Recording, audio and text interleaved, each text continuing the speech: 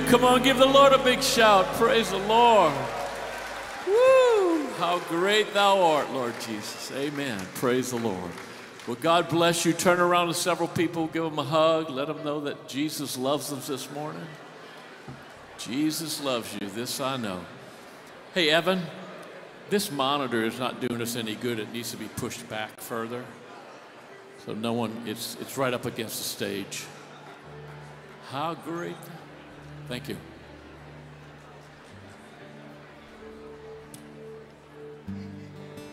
Praise you, Jesus. Hallelujah. Amen. Thank you, Jesus. Well, how many know God is a faithful God, isn't He? Woo! Hallelujah. Thank God. We're going to sing about that. Go ahead.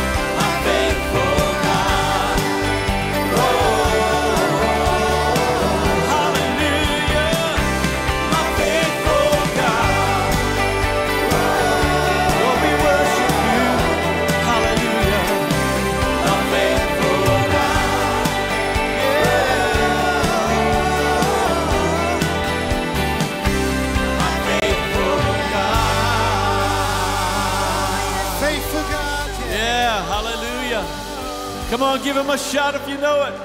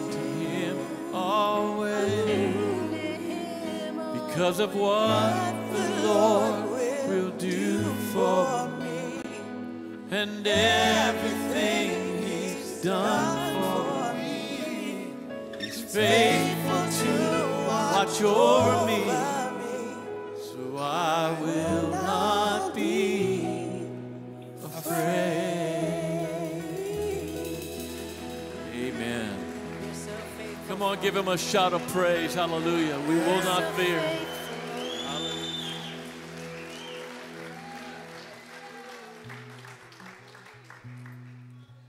Thank you, Lord Jesus. Father, we thank you that we don't have to fear perfect love. Cast out all fear. Hallelujah. And we sing a hallelujah. Come on, somebody shout hallelujah. Hallelujah. hallelujah.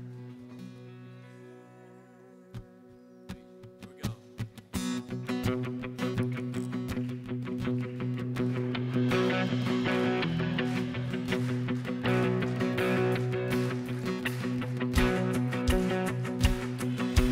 raise a hallelujah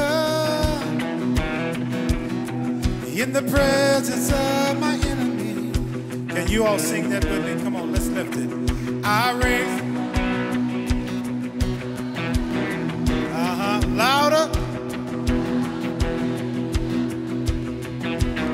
Yeah, yeah, yeah, yeah, yeah, yeah. I raise a hallelujah.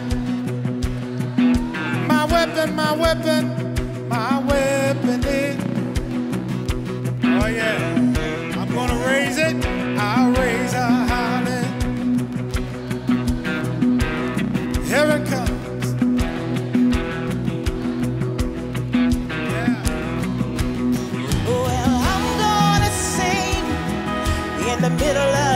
Right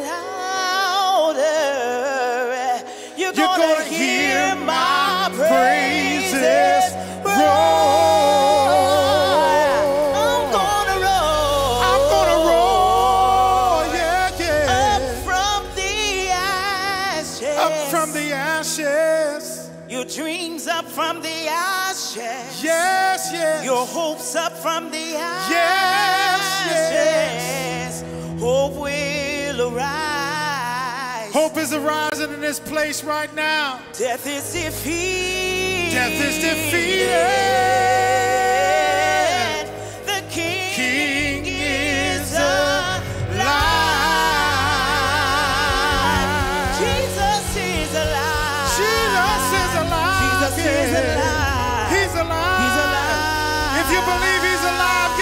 gotta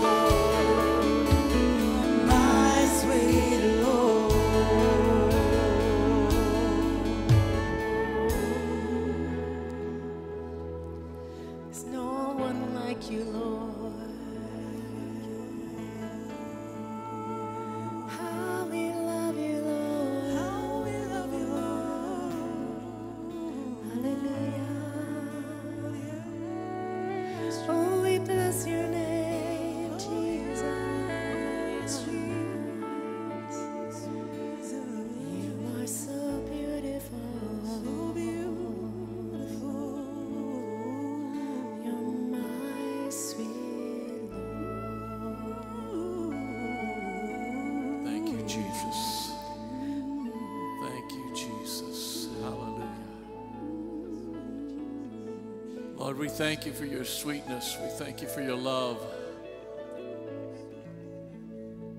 Thank you for the reality of your spirit, Lord. Hallelujah. Thank you for your presence in this place, Lord. To touch us, to encourage us, to lift our hearts and our eyes to you, Lord Jesus. What a precious gift we have of the Holy Spirit that you've sent us to live and abide on the inside of us. Hallelujah. Thank you for the songs you give us, Lord, that we can sing songs and hymns and spiritual songs to you, Lord. Hallelujah. We can have intimacy with you, Lord Jesus. We thank you for that today for all that you're doing in our lives, for all that you have touched us with, Father, of your presence today. We thank you for it now in Jesus' name. Everybody say amen to that. Hallelujah. Go ahead and go ahead and give them a praise. Woo! Oh, we love you, Lord. How we love you, Lord. Love you. Amen. Yeah, praise God. But he is so good. You know, you're anointed right now because you've just been worshiping. You're so touched by the Holy Ghost. Give somebody a hug with that anointing and just minister to them. Hallelujah.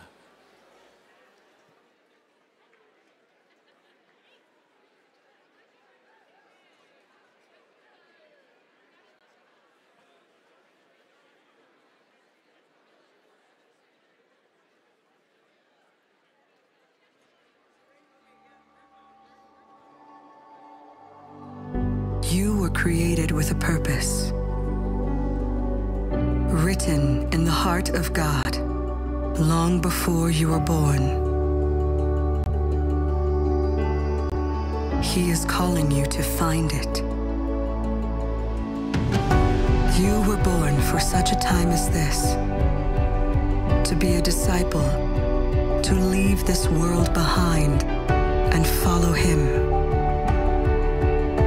Designed for a destiny, one that only you can fulfill. Go ye therefore and teach all nations, baptizing them in the name of the Father and of the Son and of the Holy Ghost, teaching them to observe all things whatsoever I have commanded you. And lo, I am with you always, even unto the ends of the world.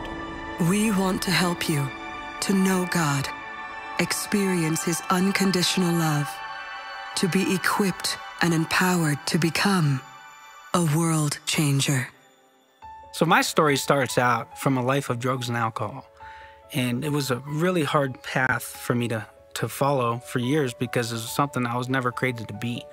And then on top of that, I got diagnosed with multiple sclerosis. And my life really turned for the worst at that moment. And when that happened, I, I found out about Andrew Wommack and his teachings. I studied them for eight years. radically and trying to get the healing that he would talk about through the Word of God and how Jesus already had healed us. But that seemed not to work for me, and I was striving and struggling so hard. But then I found out uh, the truth that I could come to my Father, that I could ask Him for help. And, and through that, and through Charis Bible College, that, that truth came to life in my heart. And I found out there was way more to the Christian life than just me trying to make the healing work. And that's when my whole life changed. And from that point, God has been using me and, and helping me personally to help people all over the world through a phone center and praying for people. And I see lots of things that God is doing through my hands that it's not me. This is not something I can do. This is Him doing it.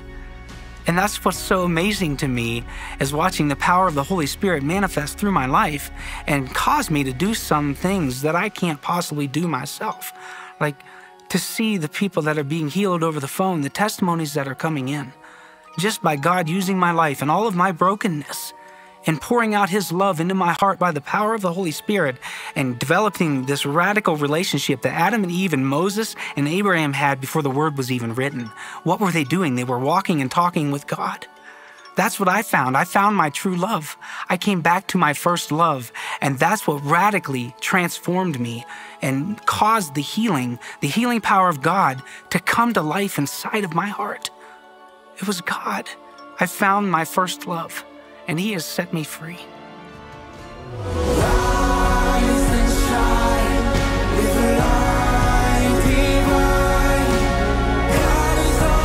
Come join us today at noon for the Discover Charis meeting.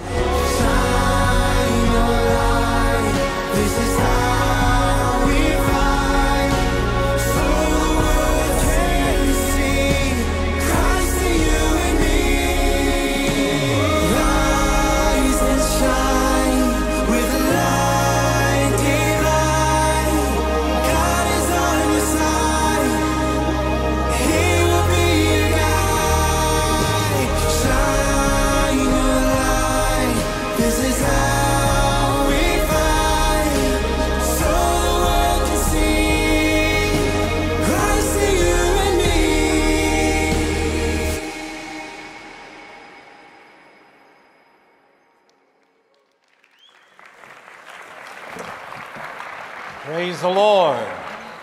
I tell you, God is using Charis in a supernatural way. We have Mike and Carrie Pickett here, and they are our vice presidents of our ministry, and they're over all of our Charises worldwide. And they just got back from uh, South Africa. Is that right? And they attended graduations. We have what, four or five schools, four, five in South Africa, and one in Zimbabwe, and they did the graduations and I got to see some of the video and some of the testimonies. And I tell you, the Lord is changing people all over the world exactly the way that we are seeing here. And uh, it's, it's really phenomenal what God is doing. I think we have around 9,000 people that are going through Charis right now at any one time. And, and starting this month, we've got a new intake of students. Don't know exactly how many that will be, but man, God's doing great things. And we have a. Uh, meeting coming up right after this morning's session. After the second session, Lance is up first, I'll be second, and right after that second session, we've got a Charis interest meeting, and I would encourage you to come and just check it out. We've made it so available that there's no reason that you shouldn't come and be a part of it. You don't have to all you don't have to leave your home. Uh, we even have a hybrid program where you just come together uh, two Saturdays out of a month for eight hours and uh, do uh, teaching together, and then the rest of it you do online and things like that. So, anyway, we'd encourage you to participate. How many of you would love to come to Charis Bible College if you didn't have any hindrances? Well, we're removing all of those hindrances, and so praise God, you ought to come, at least check it out. Praise God. We've got a, we got a school right here in Phoenix. And uh, how many of you are associated with our Phoenix Charis Bible College? Let's have you stand up right now. If you are either a graduate or you're a current student here, let's have you stand. Praise the Lord. How many of you have graduated from someplace else besides the Phoenix one? How, how many of you are from another Charis uh, deal? Stand up if you're from another Charis location. Praise the Lord. Man, isn't that awesome? Man, we're raising up people, and it's. I've had people say, Well, man, I'm just not sure it's the Lord. I'm teaching on how to hear God's voice, and I'm telling you, this is God telling you you ought to come. You have to have an audible voice from God not to come. Last night we had 11 people that got saved, received salvation, and we had 114 people that came forward and received the baptism of the Holy Spirit. Praise God. We had uh, testimonies here. I've got testimonies of people that were healed and came up and received, and, and the best is yet to come. Real quickly, before Lance comes, let me just mention some of our products we've got out there. I've got a book entitled The Power of Imagination. This is one of the most important things that God has ever shown me, and it has revolutionized, transformed my life. Every one of us have an imagination. It's not just for kids. Some people look at imagination as fantasy, but your imagination is how you function. And sad to say, I read this verse last night out of Romans chapter 1, uh, verse 21, where it says their imagination became vain. If you aren't intentionally, strategically using your imagination, then it has become vain. It is non productive or working against you. You need to learn how to use your imagination in a positive way. That'll really, really help you. So, where'd Matt go? I'm going to let Matt give this to somebody who looks like you have no imagination and you need help. And this is a book on a sure foundation which is talking about the importance of the Word. I'm going to be teaching on that this morning, and I've got this. I've got a teaching entitled Effortless Change. I've got another one entitled Plain as Dirt. That's a new teaching, but it's really good. That's one of my favorite things. Plain as dirt. You need to get that. But this is about the importance of the Word. Give that to somebody that looks like they don't have a clue. They need help. And this one is on the faith of God. Most people talk about having faith in God, and it's true that we do put faith in God, but also it is the faith of God that is given to you at salvation. You don't have an inferior faith. You don't have to build your faith. You need to get rid of your unbelief. You've got the, the faith of God, and this is something, this is the very first application that the Lord ever made in my life once I understood who I was in the Spirit. I began to recognize I had the faith of the Son of God, and it could accomplish everything in me that it accomplished in Jesus. So this will really help you. That's a DVD set, and I'll let Matt give that to somebody that looks like you need help. Amen. All right, so we've got Lance Wallnau with us. Man, Lance and Annabelle are here, and. Uh, I met Lance, I think it was eight years ago. He came and spoke at one of our conferences, and I tell you, I just was really impressed. Uh, I'd never heard anybody minister quite the way that Lance did, never heard anybody since then. And I'm sure he's got a, a, more impressive resume than what I'm giving him, but the thing that stands out to me is he loves God and he's committed to God, and God is using him. He sees things from a different perspective than what most of us do and it really is beneficial. So I want you to open up your heart and get ready to welcome Lance Wallnau as he comes and ministers to us. Thank you, Thank you, brother. Hallelujah. Hallelujah. oh, look, a whiteboard. How convenient. Uh, do we have a microphone? Let me just introduce Annabelle real quick. She's the uh, secret sauce, the spark behind the spark plug. Come on up here, honey. So, there's, so like, here's like uh, the reality is I teach it, but she actually lives it. And uh, that can be really convicting. But uh, well, honey, just go ahead and share. She loves being here. Now she and so she put her hand up saying she wants to go to Charis. So I just want you to know I'm not going to teach everything you need to know. Why wouldn't I want to go? Of course, that's what I'm saying. I, I mean, just, just a the little fact more time. However, I do play these. I, I listen to uh, Andrew. I love the word, and all you guys, you got to get um, their voices in our in our heads, right? We got to listen so we get our God faith activated, because He's got big things for us to do that we know not of. And that's a fact. So let me just give you guys real quick background. So a couple years ago, Annabelle says to me that she's got this burden for single mothers. They're living in cars and they have they have children, but they don't have a place to live. And, and she heard about these kids that don't have beds to sleep in. And she's going on. Now, I, honestly, I'm saying this real briefly for a reason. Many of you at Charis and that are coming alive in vision will find that no sooner has God activated in you grounding in your identity and your purpose that you'll start to get the call to do something. And it's in the call to do, just like that beautiful video we saw earlier about the brother that had MS, and then next thing you know, you see him up praying for people. You could see the transition from desperately looking for help to getting the answer, and then immediately, what does God do? Puts him in the pipeline to give it to other people. So we've been in ministry, like, you know, we pastored churches and all this. So this was, we have no background in what she gets into. And she tells me she wants to start to help these kids and these single mothers. Well, the reality is we got like four or five warehouses now. We've got a throughput with like a thousand beds that have come through, uh, you know, our house basically. And I got it out of my house and put it into warehouses because it was in my living room for a while. But the part that I want you to catch is she doesn't have a degree in this. She wasn't trained in this. She didn't have advanced training. The government didn't sponsor her. The entire thing is an operation of faith.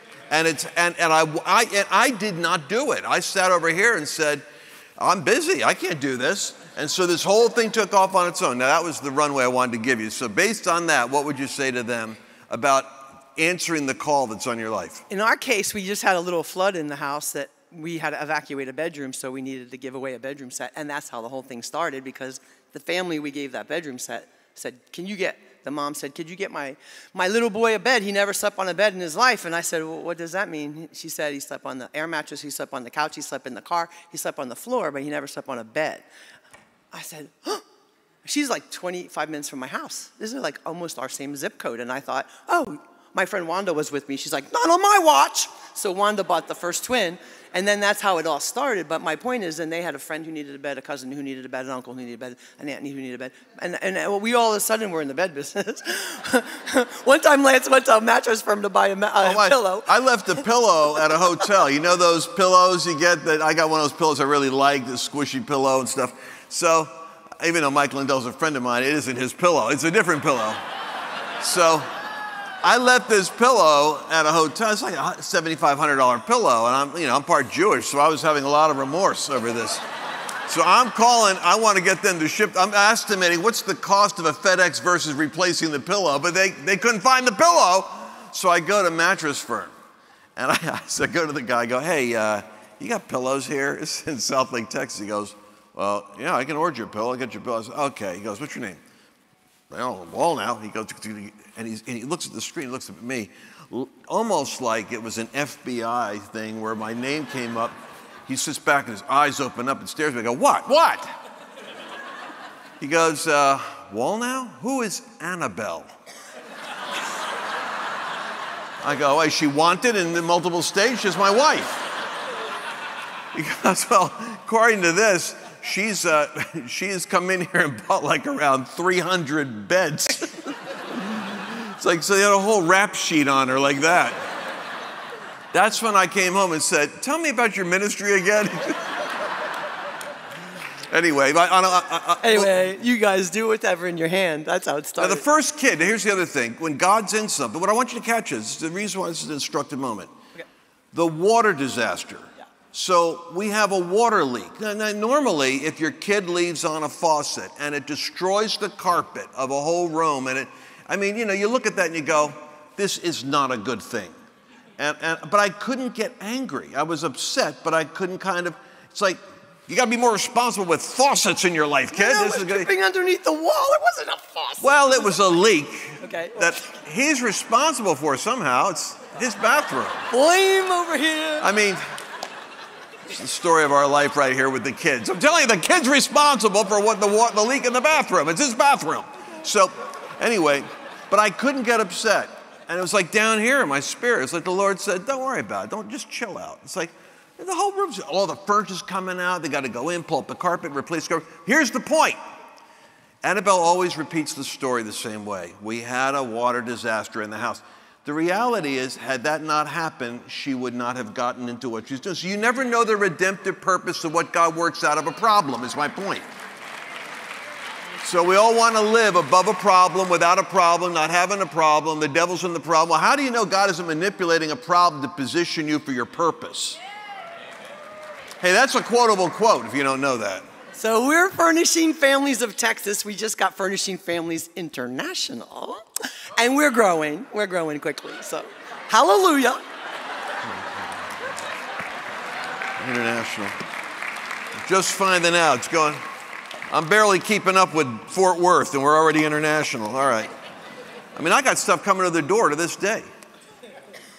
I go, why is stuff coming to the house? She goes, well, I can't leave it at the warehouse, you know, because uh, it's outside the front door. So we got, we are, we are like Walmart at our living room. All right, so Andrew was sharing last night something, which is, uh, I think, is very. Uh, He said that he hadn't done that before, really, a conference with that message. But boy, is that on point. Because we're right now at a period of time where we have to be able to hear the voice of God. You all in agreement with me on this? And there's a cacophony of voices. And how many of you know there's tremendous anxiety about what's happening in the United States because it looks like it's lost its mind? It's like a, like a, like a clown car took over Washington. We don't know what the heck's gone on. And it's like, what? What? You got this guy that gets arrested. You know, you got a guy dressed as a woman, shaves his head, wears lipstick, runs around with dresses, and he's in charge of like nuclear waste programs or something. Goes to the airport, steals luggage. This is not a normal fetish. Steals people's luggage twice. That's, that's, that's the people that are getting promoted in Washington. And, and here's the weird part we are 30%, 40% of the United States is actually evangelical, Christian, charismatic, Pentecostal. We're a large number of people, and we have no real consolidated representation up there on the Hill, except for a couple of firebrand, mouthy politicians on the Republican Party for the most part. We don't have, why don't we have greater leverage in this country? It's, it ought to be a sobering question. It's not like we outnumber the LGBTQ movement by 10 times, but we have, we have 90% less impact. What the heck is going on? Anybody ever ask that question? Well, when you get the answer, tell me. I'd like to know. So I'm, uh, I'm, looking at the, these things, and, and, you would think that. So I started a, an industry. You may not know this because I'm fairly unknown, and I, I, I don't mind being unknown. It's really convenient to be unknown. Um, because then you can go travel without having to have security everywhere you go. I only need security when I do my own events. But the, um, which actually sounds like a funny thing when you think about it. But the, but the, the reality is, people don't realize that when Donald Trump came on the scene, for instance, going back to Donald Trump days, 2015, I get a call to go up to, to um, Trump Towers to go meet with him because Paula White is gathering together evangelicals to meet with Trump. And I was off the radar as an evangelical, really. I mean, to an extent, because I work with corporations and businesses and professions, and I'm, I'm the guru of the seven mountains. I'm the guy that came up with the concept of seven mountains of culture and created a veritable cottage industry of seven mountains people. But uh, I was happy to, you know, kind of stay off the radar because the newspaper started hammering on seven mountains and they were trying to figure out who to attack because the devil hates the concept. He hates the concept of you as a mass of people mobilized to take any influence on planet Earth. It's kind of like Israel. Israel's a little dot in the world. You ever wonder about this? Little dot the size of New Jersey, and all of history seems to keep revolving around the crisis in the Middle East over Israel. Got all that land over there in Syria and Egypt and Jordan. Why don't Palestinians are always fighting with Israel? Why doesn't one of those other countries give these guys some real estate? It's weird. They all want to get into this little territory called Israel. And it's like Jews don't have a history of being persecuted. Give them a little place to hang out.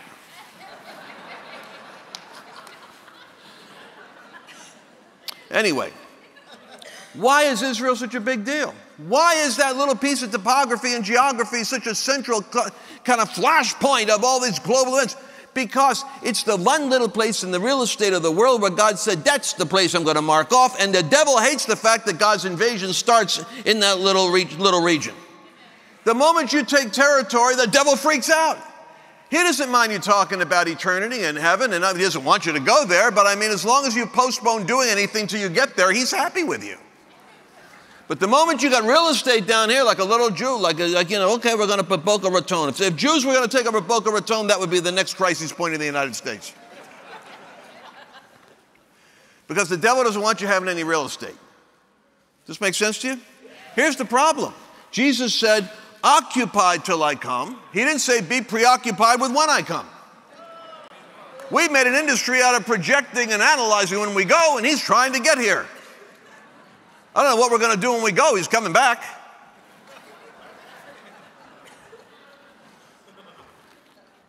So, here's my thought.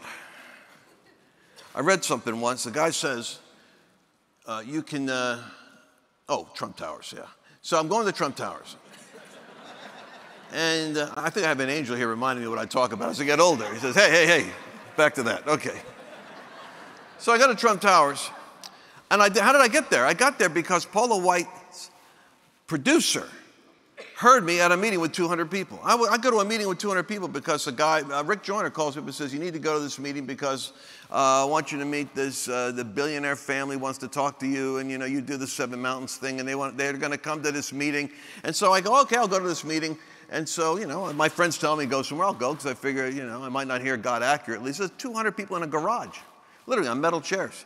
And then rickety, you know, whiteboard is up on a platform. And I got up, I do my little Seven Mountains thing. I never, the billion, I never showed up. I thought, what a waste of time. I'm flying home. I'm going, God, what am I doing with my life? Other people are on building this and they're building that, and they got mega churches and TV programs. And what am I? I'm running around looking for a, a you know, a billionaire. I'm like the lost tribes of Israel. I can't find anybody. I'm in a garage.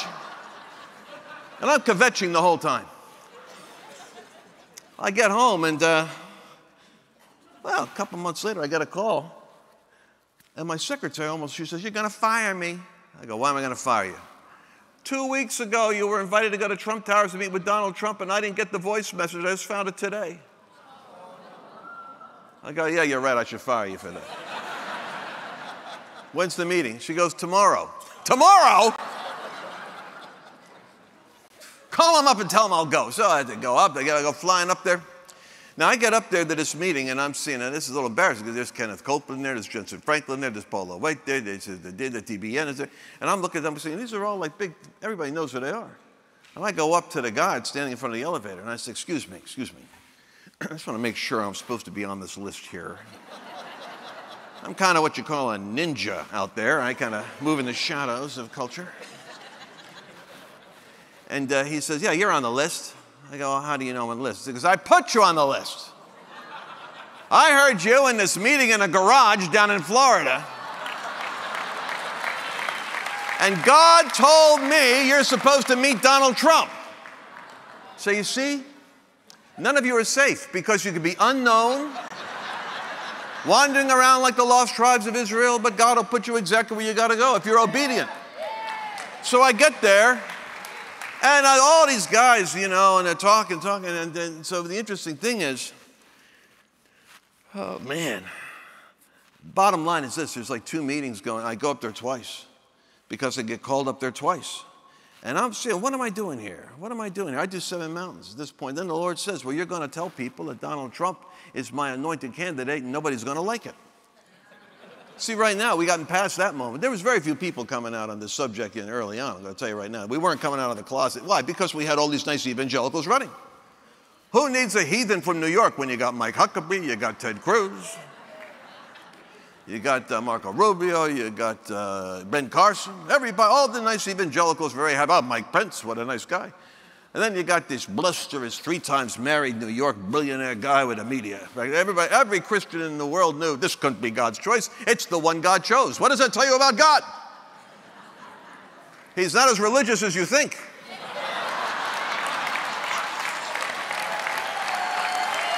So anyway, so God says, okay, let's go. Let's be honest about this. Paula White's is, is her second or third marriage. Donald Trump, between the two of them, they got like six marriages. Perfect combination. America is so screwed up, I'm just going to do this because my church is so messed up. They've done such a lousy job. I think I'm just going to put a finger in their eye and provoke them to jealousy. That's my theory. So, Along comes uh, Trump. So I'm in the meeting, and you know, there's all kind of discussing the race issues, and everybody's trying to make him a, a hate guy, and he's not a hate guy, and he's trying to analyze what's going on. Why is there riots in his meetings? And then we're talking economics, and I'm sitting there going, "What am I doing in this place?" I'm not a race specialist. I'm not an economist. I'm not a politician. I don't want to get involved with politics. I don't even. I've never been on The Apprentice. So what am I doing here? the Lord says to me, Every time you pray in tongues, you tell me this is what you want to do.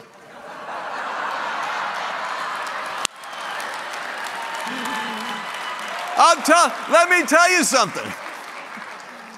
That's why when Andrew's going to talk about praying in the Spirit, listen, man, you got to get this down. I was praying stuff in my head. I had no idea the trouble I was getting myself into. I'm praying myself into this political thing. Every time you pray in tongues, you tell me this is what you want. Why are you complaining to me? You asked me to do it.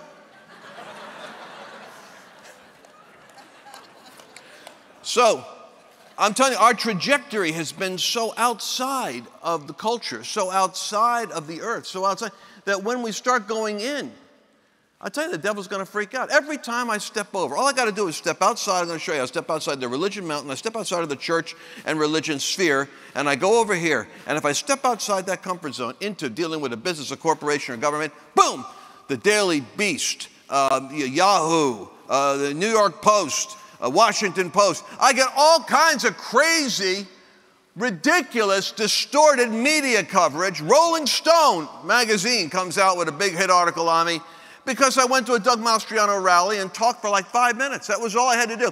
The devil freaks out when you show up because he because you're the only thing that can stop him. Let me say this again.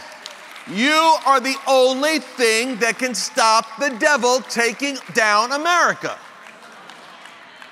So expect it. And I got all these articles, all my nuts of Fagan Christian friends that are all writing these warning sheets and having people sign lists to denounce Christian nationalism. We don't even have a Christian nationalist movement, but they're ready to denounce it in case it shows up.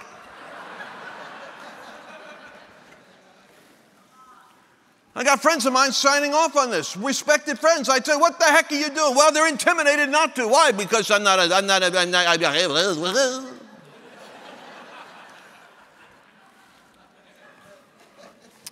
So, breaking controlling spirits, by the way, is one of my products on the table. Since we're on the subject of religious spirits, you got to break, and you break them by praying strong in the spirit. But what Andrew said last night, I don't want to lose this thought. The conscience.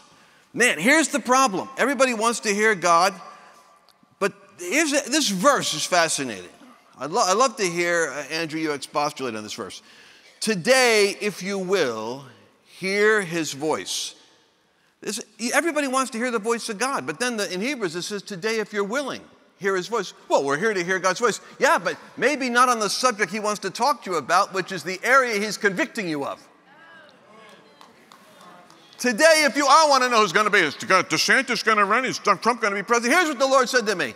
He specifically told me, he said, now you, I inaugurated the whole Trump prophetic phenomenon. Now nobody's going to tell you that because we got all these YouTube sensational prophets prophesying about elections we're not winning. Put that aside for the moment. We got prophecies everywhere about what's coming in America. Here's the problem. We're developing the itchy ear complex in the body of Christ at a time when we should be learning to respond to the convicting voice of the Holy Spirit and maturing. We're all preoccupied with who's going to be the next president. This will blow your mind. I'm, i was the guy that, and when I was doing it, this is how Andrew and I actually connected.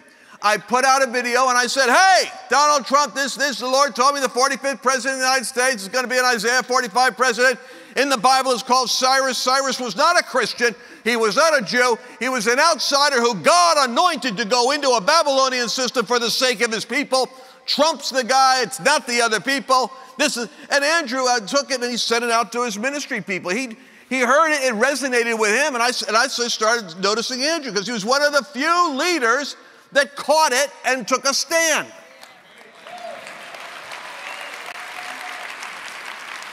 Now, after Trump became president, everybody and his brother comes out of the closet. Oh, I prophesied that. I said that. I should. And so, it create, like I said, it's another cottage industry of prophets. But here's the problem all the prophets are prophesying about what's going to happen the next wave, the midterm wave, the, uh, this wave, the next president. And then every time it doesn't happen, there's always the same prophetic refrain, which is God's about to do this. He's actually, it's all a plan. He's exposing something. He's exposing, he's exposing. Well, let me tell you something. My, my theory of this now is that the Lord spoke regarding Trump and to a great extent, I will never fault my prophetic friends for getting involved with this because, for the most part, Christians weren't, weren't really, really engaged in the political arena. And the prophets ought to be on all seven mountains. We should be talking about the, what God wants to do. So I'm very forgiving on the subject. But here's the missing piece. And I couldn't figure it out because the Lord said to me, I'm not going to be talking to you much about what's coming nationally for America because my people have developed itching ears. They're not hearing what I'm saying, they're hearing what they want to hear and heaping to themselves teachers that will titillate their curiosity about the conspiracies that infatuate them. Wow. So I said, well, I like I always like to have two or three verses for everything. I'm a big Bible guy. Whenever I have a wild idea, I test it with two or three verses. And the Holy Spirit's always good. Last night, when Andrew was teaching about how, how every sinner knows God's real, they just suppress the knowledge of God and start to agree with a lie because it's convenient. I thought, Lord, I love those verses right there that Andrew's giving. Can you give me another verse that Andrew didn't quote? And while I'm sitting there in the front row, you guys want to get it? I think it's kind of amazing. So, uh, and I get this other verse, and it's from the Gospel of St. John, and it's chapter 1, where John 1, uh, uh, verse 9. We'll go ahead and take a look at it. Go to John chapter 1, verse 9. In the King James, God always talks to me in King James, I don't know why, because I grew up in King James. That was the true light which gives light to every man which comes into the world. Jesus, he was not that light, but was sent to bear witness of that light. That was the true light, which gives light to every man coming into the world. What does that mean? That means that every man that's coming into the world has had an encounter at some time with the true light. What that atheist said about seeing God in the sky and the stars, and he looked at the wiring of the city, Jesus is the light of the world, and he has enlightened every man coming into the earth. There'll be no one that will point to him and say they never had a divine moment when God revealed he's real. He is the light that lighteneth every man. You see that? Every man coming to the world, he gives light. Not some, not a few, not if they hear the gospel only, but everyone will be accountable because God has made himself known. That was the verse you quoted last night in Romans. So Jesus is the light that lighteneth every man. He has, he has made himself known to every man. Now, the conscience is the issue. I want to go to Jeremiah 23. The reason why the Lord said to me something interesting about what's coming up with America. And, and actually, I'm very hopeful because I'm hearing the Lord speak about this. But he's not talking about election cycles.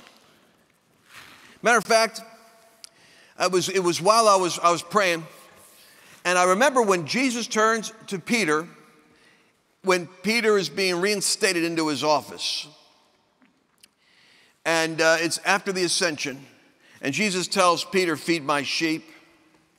Verily, when you were young, you went and ran wherever you wanted to go, but when you're old, you're going to stretch forth your hands and another's going to take you where you would rather not go. And in saying so, Jesus signified by what death Peter would glorify God.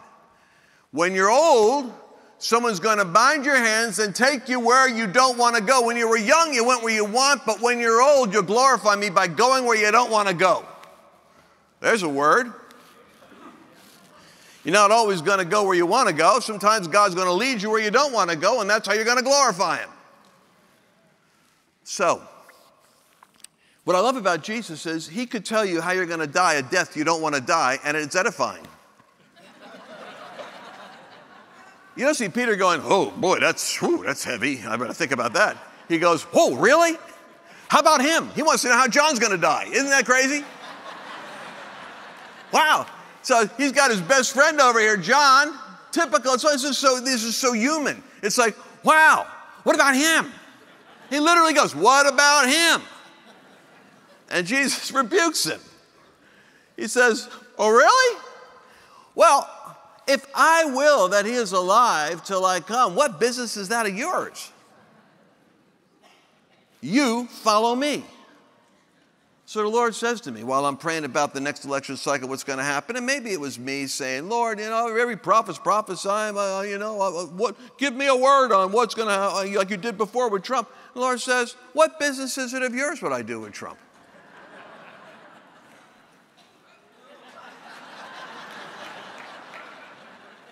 Well, here's, here's, I'm telling you the word of the Lord to the prophets. What business is it of yours what God does with Donald Trump or DeSantis?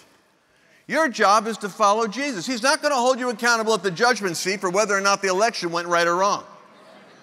Unless he called you to run.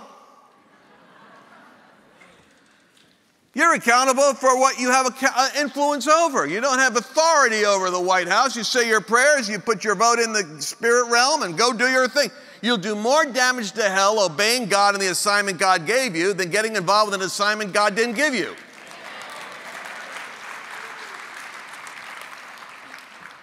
So I said, Well, what, what, what, what are we missing here, Lord? And the Lord said, I, I want my people to start to get to hear my voice convict them. So their conscience come in alignment. Not because there's always big sin. It's just that if you suppress the voice of God in any area, you're in danger of suppressing God in bigger areas. And the great deception that comes upon the earth that causes many to fall away is only great because the little deceptions were tolerated.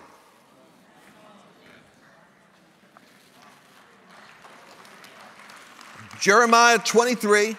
So I said, Well, Lord, what, what, are you saying? The Lord says, verse 21. I'm not saying it's about everybody, so don't get me in trouble with everybody. But verse 23, verse 21, chapter 23, Jeremiah. I have not sent these prophets, but they ran. I haven't spoken to them, but they prophesied. But if, if they had actually stood in my counsel and had caused my people to hear my words, they would have turned them from their evil way and from the evil of their doings.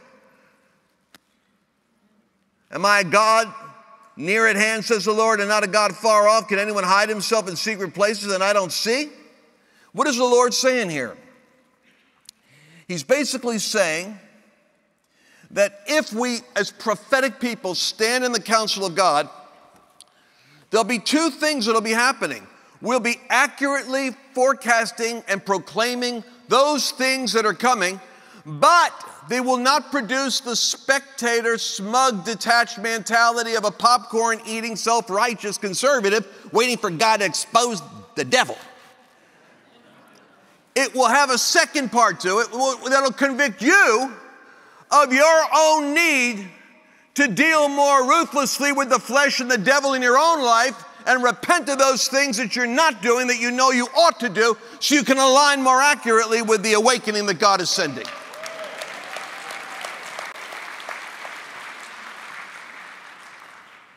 Your, the reason why Charis is important for you, for all of you, here's why. Because what I'm saying now is the kind of truth that can set you free. What you'll hear taught in Charis and I've been around, I'm all over the body of Christ. It's like my friend Mario Murillo says, I've been around for like 40 years. I've seen every float in the Pentecostal parade.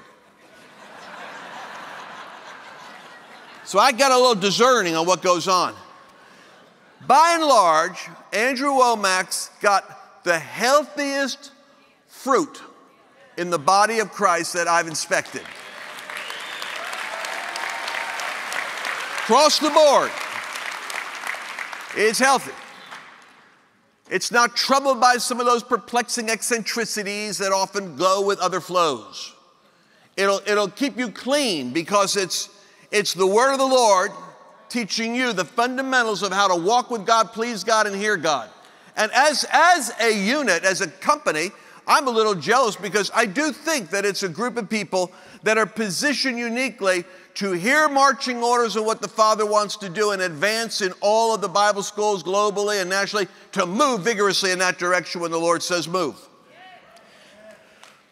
If these prophets were hearing from God, they would produce conscience and conviction in the church. Let that be the test when you're listening to your favorite internet prophecies.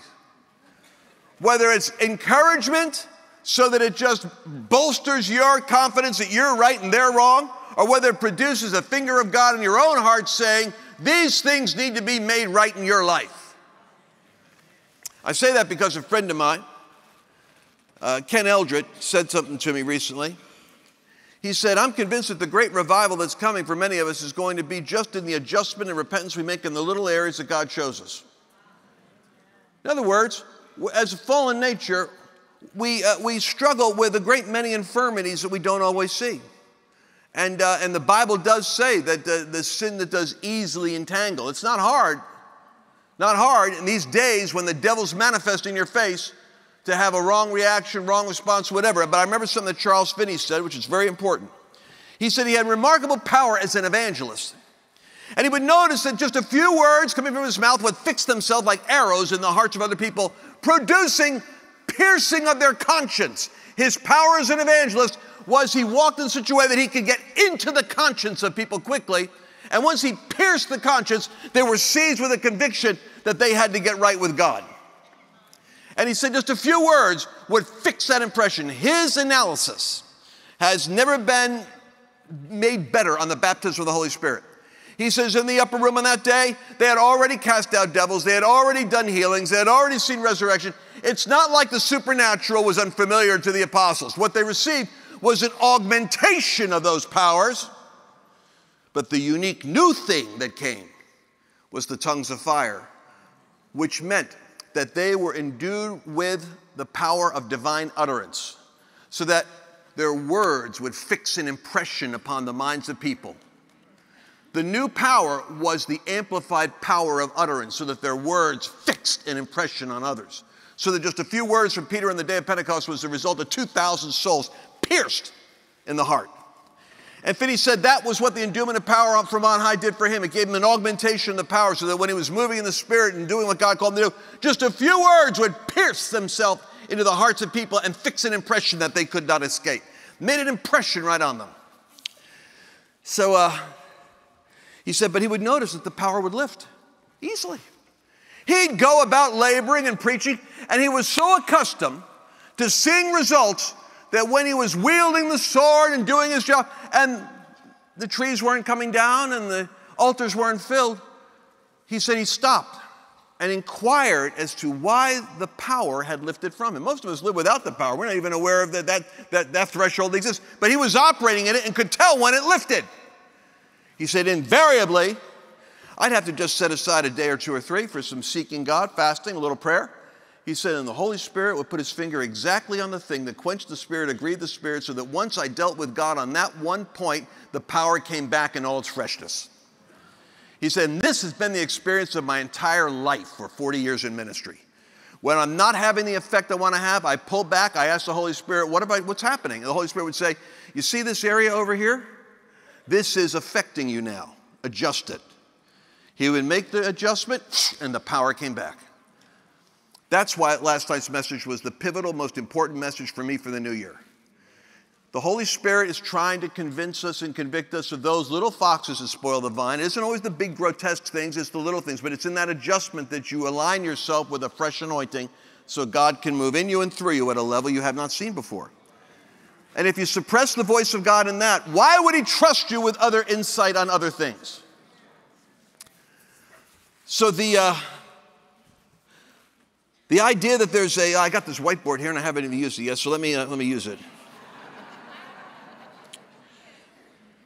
Holy Ghost.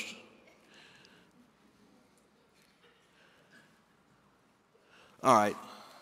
T- take a look at uh, how did the Apostle Paul know in 2 Timothy? Go to 2 Timothy chapter 3, speaking of these, these days we're in. And I'm telling you with great encouragement right now that the Spirit of God is dealing with a few things. The Spirit of the Lord spoke to me while I was sitting in that front row and brought up something uh, that I got to deal with. I'll do it when I was as soon as I get home. But the Lord brought it up two or three times. I didn't want to hear it. I want to hear God's voice on what I want to hear God's voice on, and God's talking about stuff I don't want to hear. I'm suppressing the truth and unrighteousness. I'm just like the sinner out there who doesn't want to hear something. I'm suppressing it.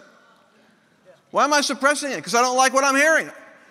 It's like, I don't want to watch that channel, I want to watch this channel. Here, God, talk to me on the Discovery Channel. and God says, No. I'm not going to talk to you until you listen to, to what I'm trying to say. So I want to give you a picture now. I'm a big believer in pictures. Why am I a believer in pictures? Because I found something out. I found out that a single image or picture that properly encapsulates a concept increases your IQ 10% on that subject. That's the reason why I'm big on drawing illustrations because you'll find this out. You can you ever notice how you can memorize lyrics to songs faster than you can memorize other things? Why? Because the melody somehow makes it memory permeable. It goes into your memory easier if it's attached to a melody.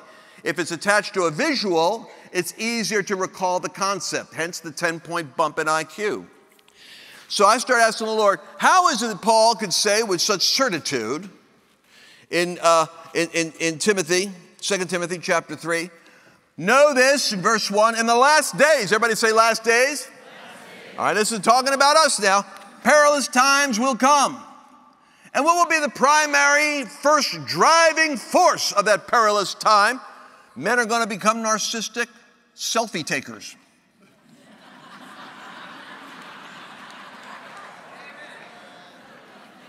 Men will be lovers of themselves, lovers of money, boasters, proud, blasphemers, disobedient to parents. This is interesting. It's going to hit them when they're young, too. It's going to be an invasion in young people. Disobedient to parents means your parents are still alive. And uh, brutal. They're going to be disobedient to parents, unthankful, unholy, unloving, unforgiving, slanderous, without self control. This is quite a litany of characteristics, having a form of godliness but denying its power. What does that mean? Having all the religious language and trappings but denying the convicting power of the Holy Ghost on the conscience. They're always learning, heaping up for themselves teachers and knowledge, and, uh, but, but they're never able to arrive at the knowledge of the truth. But what does the knowledge of the truth do? The knowledge of the truth sets you free. So they're constantly in bondage to stuff. They're never getting free, but they're accumulating more and more information. Now, as Jannes and Jambres resisted Moses, so do these also resist the truth. Men of corrupt minds disapprove concerning the faith. Who's he talking about here? Jannes and Jambres? Nope, you can't find them in the Bible. Go to the book of Exodus, you won't see them. The most that all my rabbinic scholars will tell me is that these were the names in the Jewish Talmud, it refers to the sorcerers that withstood Moses in the courts of Pharaoh, which means these are political opponents that are trying to hinder the move of God when God wants to move. They were in the court of Pharaoh and they resisted Paul, or they resisted uh, Moses. And so they cast down the serpents. You know, you should know your Bible story there, where Aaron's rod gets thrown down. They, these advisors throw down their rods, they become serpents, and Aaron's rod goes and swallows up all of theirs, and he picks it up, and they've lost their power. They're occult power. So what you're seeing is what's happening in Washington, D.C., is a combination of increased perversion by men of corrupt minds who have opened a portal to a spirit of perversion and false religion in America. The left is not a political ideology, it's a false religion. The sooner you get your head wrapped around that, the sooner you'll understand why they're going to come after the church. Because you can't have two competing religions in America dominating legislation. So they're going to legislate out of their false religion.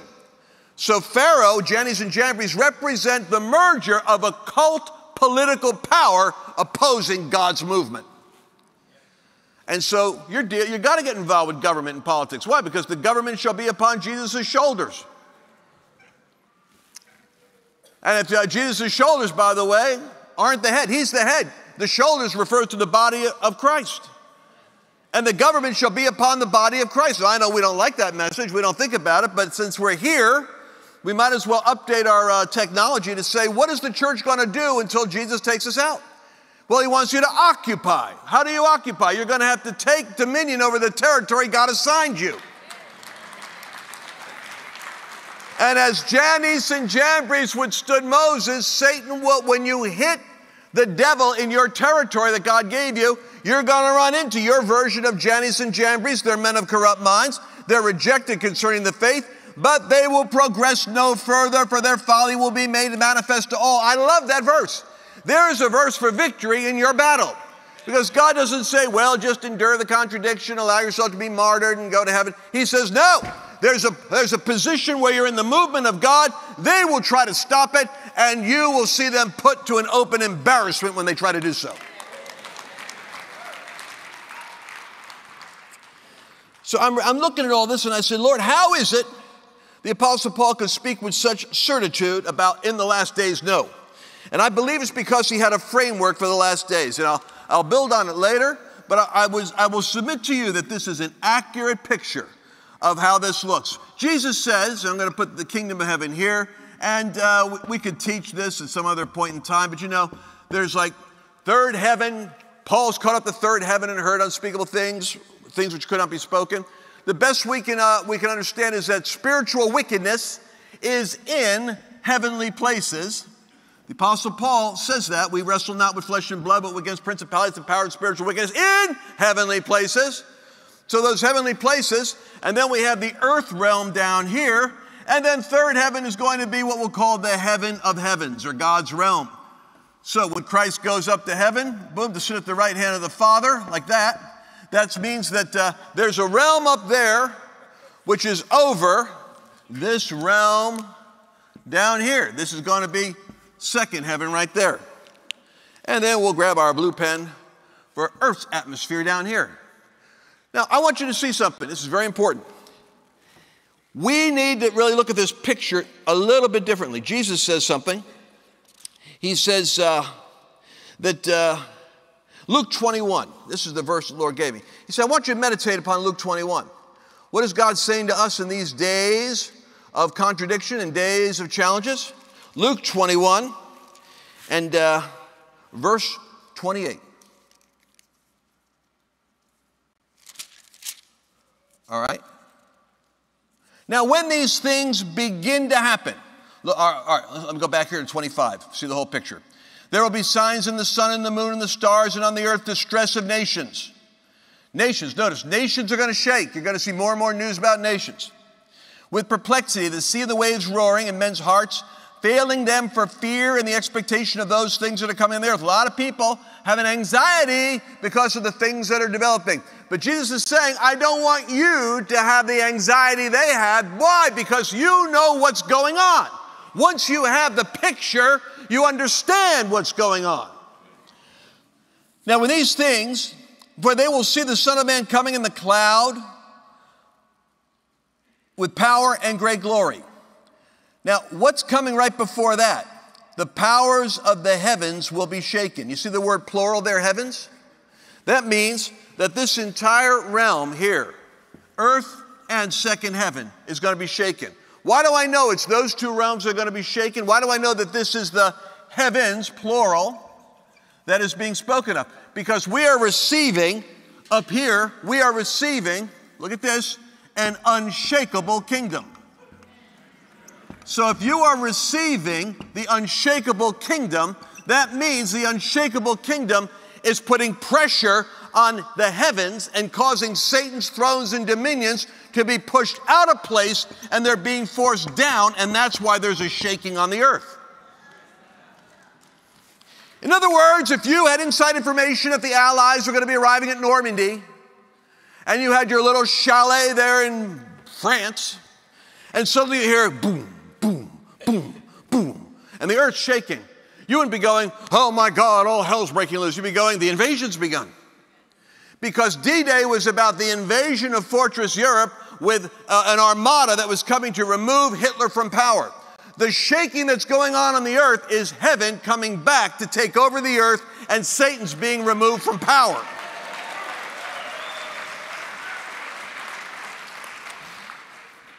One, just a shift in your paradigm can change the way you look at the news every day. Instead of being frequently traumatized by the latest development, you start going, ah, the invasion.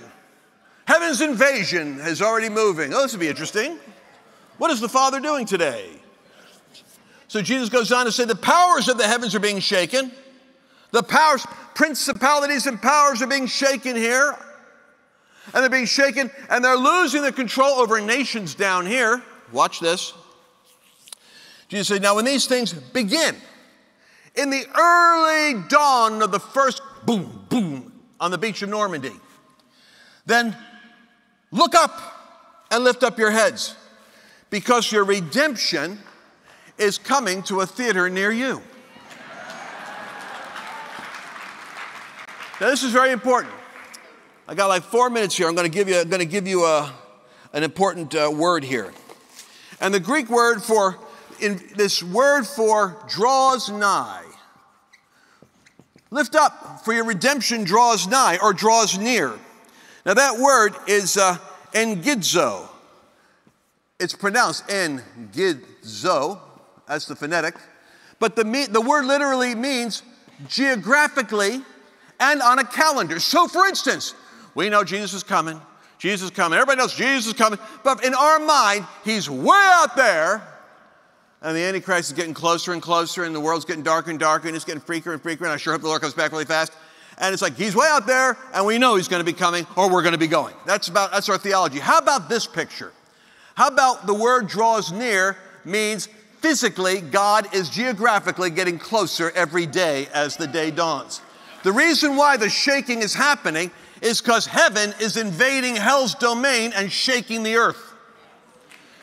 Draws near, curious enough, same Greek word, when in Luke chapter 7, verse 12, and when Jesus engidzo drew near the gate of the city, there was a boy on a stretcher who a, funeral uh, pile was coming by.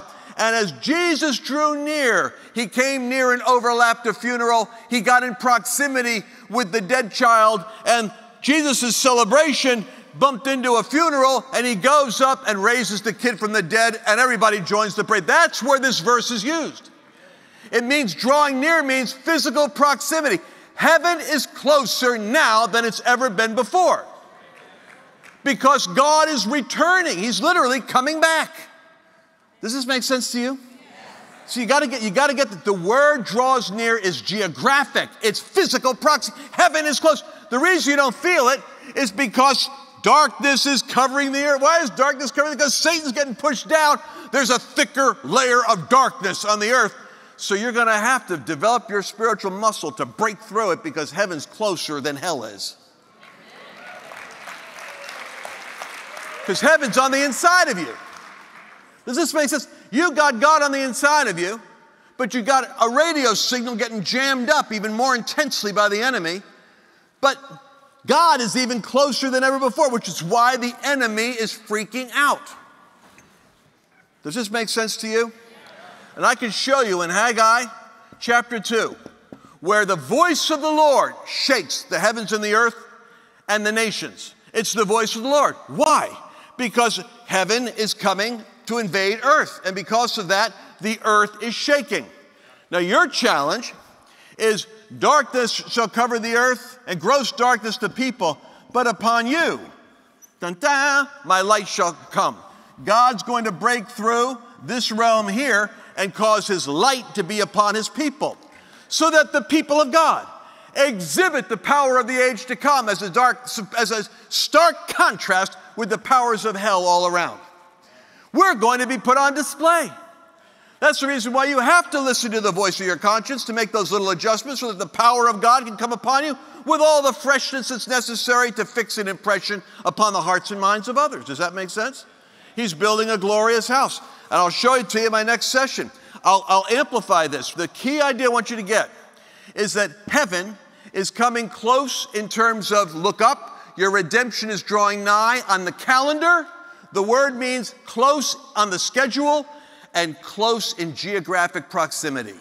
The reason why you're seeing the end time shaking of nations and economies isn't because the devil is taking over, it's because the devil is being cast out.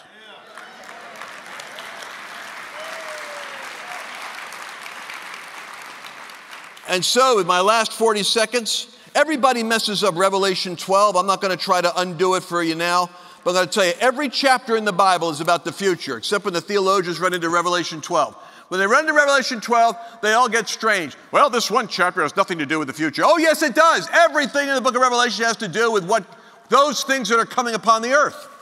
And how does it wrap up? It says that Satan, at some point, gets cast out of his ability to hold this territory, just like Hitler lost his ability to keep them out of Europe. Once they landed, he was backing up to Berlin.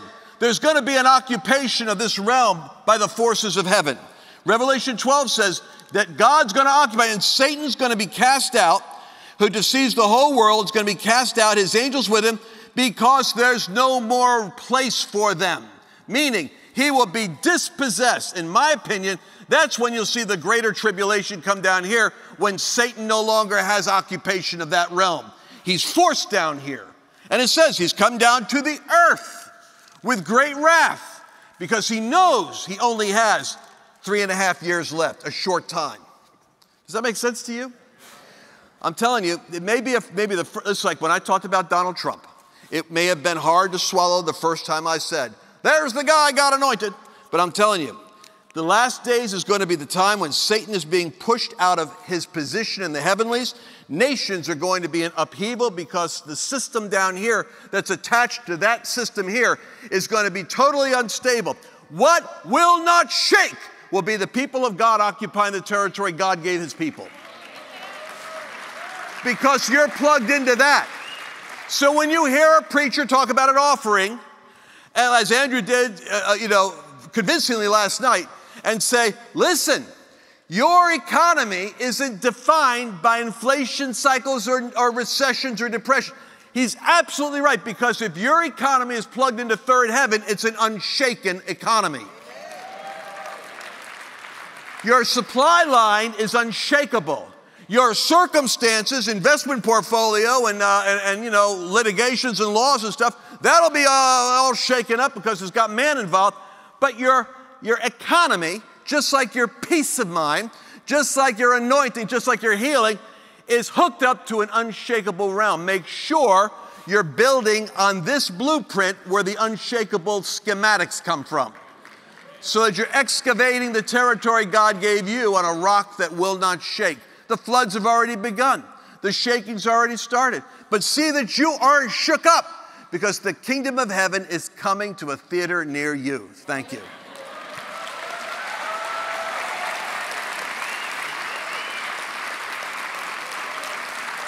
Amen.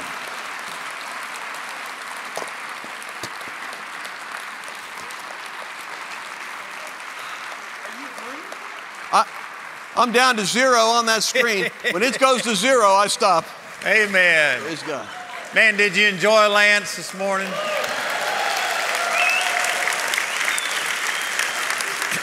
He's going to be ministering this evening at uh, 7 is when the service starts, and he'll be ministering in the second session tomorrow morning. So you got two more opportunities. And I mean, who wouldn't want to come back and see this?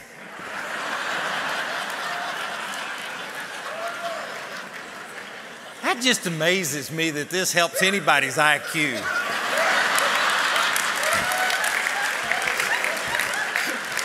but whatever works, amen. So, anyway, Lance is a super blessing. We're going to take a break here for about 12 minutes. Let's be back at 10 minutes till, and we'll start the next session. Uh, please take care of everything you need to do. Remember, we got materials, and Lance has materials out there too. Please go check them out. Be back in 12 minutes, and we'll start our next session. Also, we're going to have our prayer ministers down here. If I could get our prayer ministers to come down front. If there's anyone who needs prayer, uh, please come and let us help you any way we can.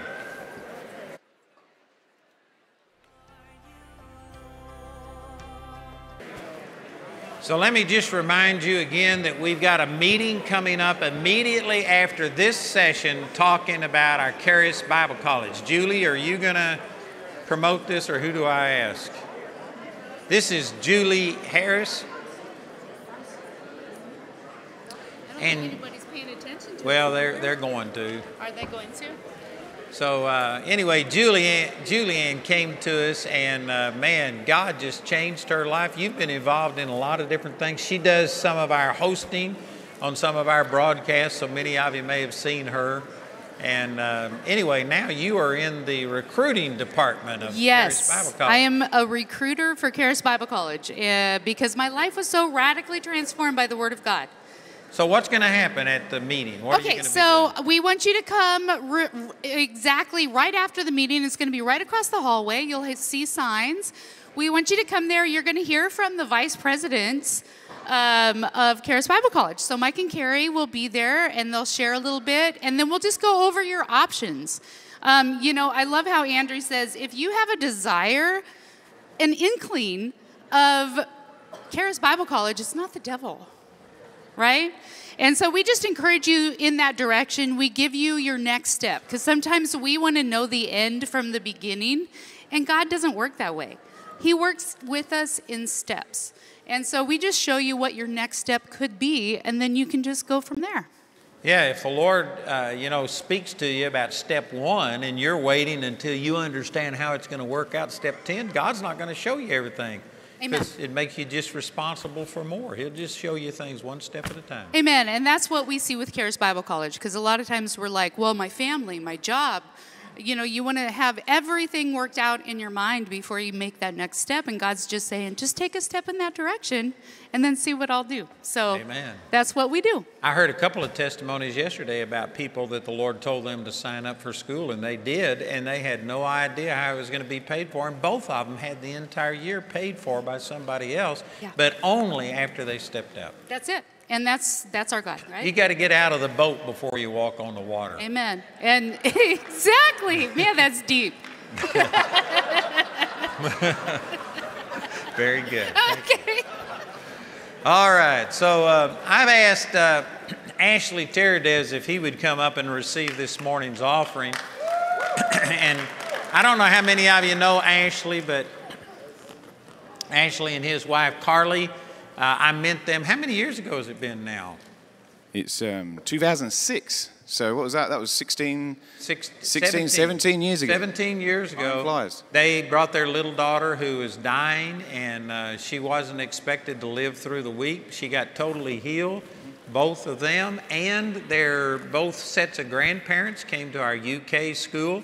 Then they moved over here to the US and did third year, and you worked for me for what, 10 years? Yeah, just over 10 years, I think, yeah. 10 years, and now they are out on their own. And Ashley and Carly are going to be speaking with me in Orlando in February. They're going to be the guest speakers there, and you're going to love it. But anyway, I'm on their board, and it is phenomenal what God is doing. This little girl that was healed 17 years ago now just had a baby this week. Amen and uh, she wasn't expected to live through the week. And so we're joined at the heart forever. And Ashley's a blessing. So he's going to receive this morning's Amen. offering. Thank you, Andrew. That's awesome. So I want to do the business side first. So if you can hand out the envelopes, we're taking up an offering for Andrew Wommack Ministries. So if you've uh, if you need envelopes, can the ushers hand those envelopes out? I like to give people a lot of time to write because a million takes a long time to write. A lot of L's, not of L's. So hand those envelopes. That's not even that funny anymore because Andrew does have million dollar gifts, praise God, to this ministry. And we'll probably get billion dollar gifts at one point. That's what we need, about a billion to do what uh, the Lord's put in Andrew's heart. So unless you've got over a billion to give today, then Andrew Wommack Ministries has designated, they know exactly what they're going to do with it and they're going to extend the kingdom around the earth, praise God, like never before. And I believe what, what Brother Lance was talking about, how what's happening at Charis Bible College and what's happening through Andrew Wommack Ministries is the, I'm telling you what, it's one of the, it's, if not the, I'm biased, I'm a Charis graduate, so I'll just say it. It's the best place you can be right now in this move of God, amen. It's, it's powerful. So you don't even need a word from God to come to Charis, just come. I didn't have a word from God to come to Charis, but then I look back and I know 100% it was God's will for me to go to Charis Bible College back in 2006. So I would say if you have any type of desire to come to Charis Bible College, then it would be a good thing. But I'm not here for Charis, I'm here to take up the offering, praise God. So um, I want to tell you a few things. First of all, if you're uh, making your checks out, make them to Andrew Wommack Ministries or AWMI. You can give on them envelopes with cash, you can give with credit cards, debit cards, uh, car keys, jewelry, gold bars, whatever you want to give. We'll take it. Some of you are listening. We'll take it, praise the Lord. God loves a cheerful giver. So let's laugh when we give. It's amazing when we do the offerings, people get all like worried about it and they start crossing their arms or conveniently have to go to the bathroom. I love the offering. The offering is my favorite part of the service. I love to give because God's, God's not trying to get from us, He's trying to get more to us. And when you understand that, and you understand the power of giving, you know what Andrew's been teaching on uh, last night, and I believe he's going to continue teaching on it, and Brother Lance taught some on it as well, is hearing God's voice. And, you know, I believe there's a competing voice in our life, and I believe it's one of the reasons why we can't hear God's voice so well.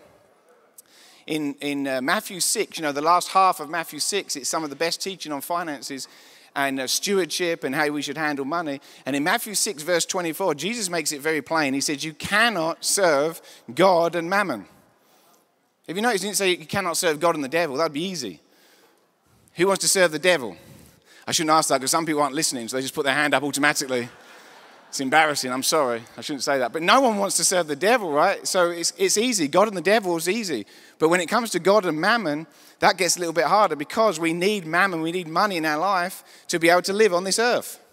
Because I don't want any money. Well, how are you going to live? How are you going to get the gospel out? How you, we, we should want money so that we can have something to give. We should want money because it creates influence. And people get all self righteous, like, I don't want any of that money, I don't want that filthy lucre. Well, give it to me. Give it to Andrew. We'll put it in the gospel. Praise the Lord. because the money, money can be, money's amoral. Money's neither good or bad, but it can be used for good. So if we put money to work, you've heard of the golden rule, right? He who has all the gold makes all the rules. So if the body of Christ has the money, we can actually do more for the Lord and establish his covenant. Deuteronomy 8:18. We can establish his covenant on earth. So we should want money in the body of Christ. We should want money in our lives so that we can put it for good. Because if I have a lot of money, I'll just be greedy. No, if you're greedy, you're just going to be amplified greedy with more money. If you're a giver, you're just going to give more when you have more money. So anyway, so Mammon and, Mammon and, God is the conflicting voices. And what happens is we hear the voice of Mammon rather than hearing the voice of God. And I believe this is one of the main ways we miss the voice of God or don't hear the voice of God is because the voice of Mammon is speaking to us. Let me give you a little test. If, if you, you make a decision, what's the biggest voice in your head when you make a major decision? Is it just the Lord and you just you pray and you fast or do what you do to hear God's voice and you hear God's voice telling you to do something? Is the first thing you think about is how am I going to pay for it? How am I going to afford it? So many people come to me and say, I'd love to go to Charis Bible College, but I'm only two years away from retirement, and I'm going to get this bonus, or I don't think I can live in Colorado, the cost of living is too high, or whatever the excuses are, it's monetary decisions they're thinking about. And what happens is, though, that mammon talks to us in our heads, and we stop hearing the voice of God because we hear the voice of mammon saying, You can't afford to do that. If you give this amount of money away, how are you going to get that money back again? I've been there so many times. It is funny now because I'm on the other side of it, but there's probably other times when I'm going to have to do it again. But we've been so many times we've had to give everything away. And that's type of gets your attention. You know, Andrew talked about her daughter Hannah. In 2006, she was given one week to live, maximum two weeks. So the doctor sent her home. She was three years old. She was the size of a nine month old baby. She was, so, she was so stunted in her growth, she couldn't eat any food. She was, uh, she was wasting away. They'd, they'd tried everything they could in Great Ormond Street, a great children's hospital. They tried everything they could, but they couldn't do anything and they sent her home to die. But we didn't take her home. We drove across the other side of England and we brought her to a conference like this. And um, we brought her to a conference and she was prayed for. And when she woke up, she was in a stroller at the time. She was on a machine that was feeding her 23 hours a day. When she woke up, um, we told her, Jesus has healed you. And she said, I want to eat. She'd never eaten before. She started eating, kept eating, didn't stop eating we took her back to the hospital, and the doctors kept looking at her. They, they wanted to find something wrong. I love doctors, but they wanted to find something wrong with her. They were disappointed. They said, Man, we've tried, but we can't find one thing wrong with you, Hannah. You're 100% well. Praise Jesus. Amen. And that was uh, 2006, and now she got married in April, which broke my heart, but she made up for it. She made a great godly man, a Charis graduate actually, but she made up for it because she gave me a grandson just two days ago, I think. Two days ago, praise God. So I'm a grandpa now. They said, What are you going to be called? Grandpa? I said, No, I'm going to teach this child the English accent. Because how impressed would you be if you saw a two year old come along and say, Grandfather? Wouldn't that be impressive? So I want him to call me grandfather. I'm not going to say, Look, I'm going to say, Behold. Behold the birds. But anyway, it's quite funny actually because she gave birth the baby was two months early, so he's in NICU right now. So he's fine. He's, he's going to be fine, but he's, in, he's all wired up in the machines. Bless him. He's only four pounds, but they're very happy with him and everything else. She gave birth two months early, but it does mean that she gave birth eight months after she got married. so as a godly family, she's going to get a hard time about that. But anyway, I say all that to say the reason why I told that story is because the night before Hannah was healed, the Lord spoke to me in my heart. And I'd been listening to Andrew's ministry about two or three weeks before. Then we were born again, spirit filled. We loved the Lord, but we didn't know the truth of the gospel. We didn't know that God was a good God. And this ministry is teaching people that. This ministry is teaching people the true nature of God. I think one of the greatest travesties in the body of Christ is God gets blamed for bad things. And we thought, well, if it's God's will for our daughter to be healed, she'll be healed. If it's not God's will to be, for her to be healed, she won't be healed. That's a terrible doctrine. That means you, you know, anyway, so Andrew taught us, we listened to his website, listened to his free tapes for like three and a half weeks. We got a crash course on the goodness of God. And then we came to one of his meetings, which was just like this in England. And we sat there and I was praying, and it was time for the offering. I thought, well, I've received a lot from this, this man of God. I've received a lot from this ministry. Have you know, I believe it's 1 Corinthians chapter 9, verse 11. It says, if you've received spiritual things, you should sow material things. It's the way God set it up. It's the way you concrete in your heart. It's the way you it, just sow material things is so powerful when you receive spiritually. So I thought, I've received spiritually from Andrew. I want to give materially. So I just prayed one of those prayers. Have you done this? I was like, How much shall I give, Lord? And the Holy Spirit spoke to me dead clear. He said, Everything you got. I said, I can't hear you, Lord. I was like, Must be the devil talking to me. This cannot be God. And I said, Lord, are you sure? Let us, re- let us reason together, Lord. Let, us, can we talk about this? And he said, and, and here's the thing God doesn't tempt us with evil, but he does tempt us with good. The, the Lord tempts us with good. He'll tempt you with good. He'll tempt you. Do you want to come a little higher with me? Do you want to go on a little adventure with me? Do you want to trust me even more? Do you want to walk by faith even more? He'll tempt you with those good things. So it wasn't like he was saying, You must do this. But he told me, Give everything you've got. And it took me a few minutes to calm down. I stopped shaking. I'm trying to add up everything we've got in the bank accounts and stuff, savings account, checking account, I mean, everything. So I turned to Carly. I said, Carly, this is before Hannah was healed. I said, Carly, I think the Lord's telling us to give everything we got. She said, Are you sure? I said, I'm about 90% sure. She said, That's good enough for me. She's like, She loves that. She was like, It's not her responsibility to provide anyway, so it's like, it's no problem. I do think my, it's harder for men sometimes. Women are like, Oh, no problem. But for me, I was the main breadwinner, so I was like, How are we going to do this? But I prayed. You know what we did? We, I wrote the check out. I worked out everything we had savings account, checking account. I just gave everything we had right there. Now, I wasn't paying for Hannah's healing, I wasn't bribing God. I wasn't trying to make something happen. The Lord prompted me to do that. And here's the thing I realized I was trusting in mammon rather than trusting God. I was trusting in the voice of mammon rather than the voice of God. And God wanted my whole heart. God wants our whole hearts today. He wants us so that when we hear his voice, we hear his voice rather than hearing the voice of mammon. And the next day she was miraculously healed, and praise God, she's 100% well. So, my point being this God wants us to hear his voice clearly. And I believe mammon, money, is something, because we have to live with it every day, is something that can distract us very easily.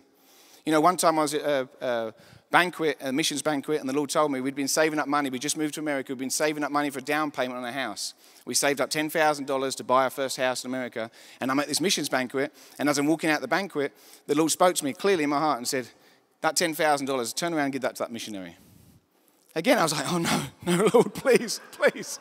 Can we reason together, please? It was tough on my flesh. But I knew it was the voice of God. So I turned around, and gave it to the missionary. He was crying. As I gave him the check, I was crying. I, mean, I mean, it took me months to save up money to buy a house. I was like, oh no. And, and, and my flesh is thinking, and the enemy saying, you're never going to get a house in America. You've blown it. You've saved, you took you months and months to save up that money. Now it's all gone.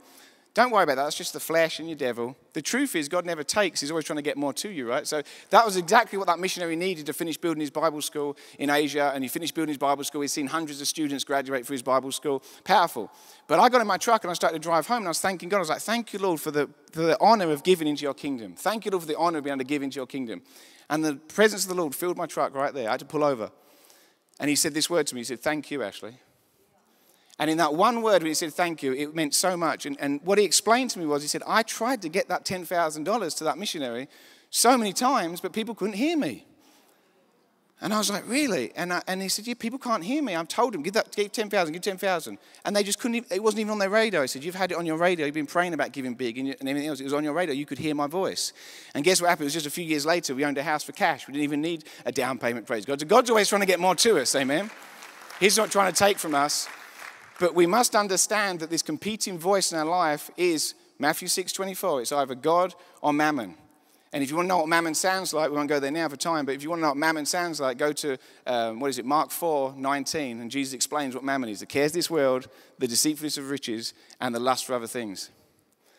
That's the voice of mammon in your life. Whenever you make a decision, when you want to hear God more. So, how do you hear God clearer? Give, trust Him with your money, and say, you know what? God's my master, not mammon. And every time you give, you're putting mammon in its place. You're saying, Mammon, I could do lots of other things with this money.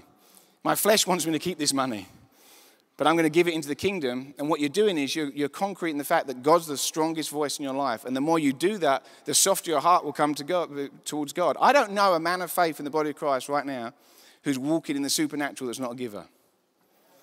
I don't know. I don't know. But man of God in my life, I've got lots of mentors in my life. I'm so grateful. But I don't know. Andrew Wommack's my greatest mentor, and he's, he's the most generous person I've ever met. Why do you think he's got a multi-million dollar, hundred million dollar ministry and doing all what he's doing around the world? Is because he's giving from day one. He gave when it hurt. Because say it's okay for Andrew to give. His ministry is so big. No, he was giving away from his ministry when it really hurt him to give in the natural giving free tapes away. How many of you ever received a free material from Andrew White Ministries? Praise God, look at that, giving away free. There was a time when he couldn't afford in the natural to do that, but he did it anyway. We give, and what happens? Then the increase comes. And then one last thing, if you're not a partner, if you are a partner of Andrew, who's a partner of Andrew White Ministries? Thank you, thank you, thank you. Your partnership enables miracles like my daughter to be healed your partnership because you're getting the truth into people's ears. You're getting the truth into people's hands. The website is free to use. It's not free to Andrew Wright Ministries. These conferences, it's free to you, but it's not free to Andrew Wright Ministries. All the things you're consuming, materials, television, all the different things that they're doing at the moment, they're not free. They're free gifts to you, but they're not free. So partners are making this happen. So thank you so much for your partnership of Andrew Wright Ministries. Thank you, Andrew, for letting us partner with you. And if you're not a partner of Andrew Wright Ministries, I said this a few months ago and I got in trouble, but I'll say it again. If you're not a partner of Andrew Wright Ministries, what's wrong with you? Come and meet me and tell me your excuse why you're not a partner. You can start a partnership at any amount. You can, you can do it as a small amount as you want. But uh, guess what's going to happen? When you start partnering with a ministry like Andrew Wright Ministries, that, that finances you give is going to start increasing. And as it starts increasing, you're going to be able to partner more and give more, praise God. So I'm so excited about what's happening for Andrew Wright Ministries and Charis Bible College. I'm telling you what, it's so powerful, and we get to be a part of it. So I want to encourage you today give big, give by faith. And you know when you're giving big because your flesh will freak out.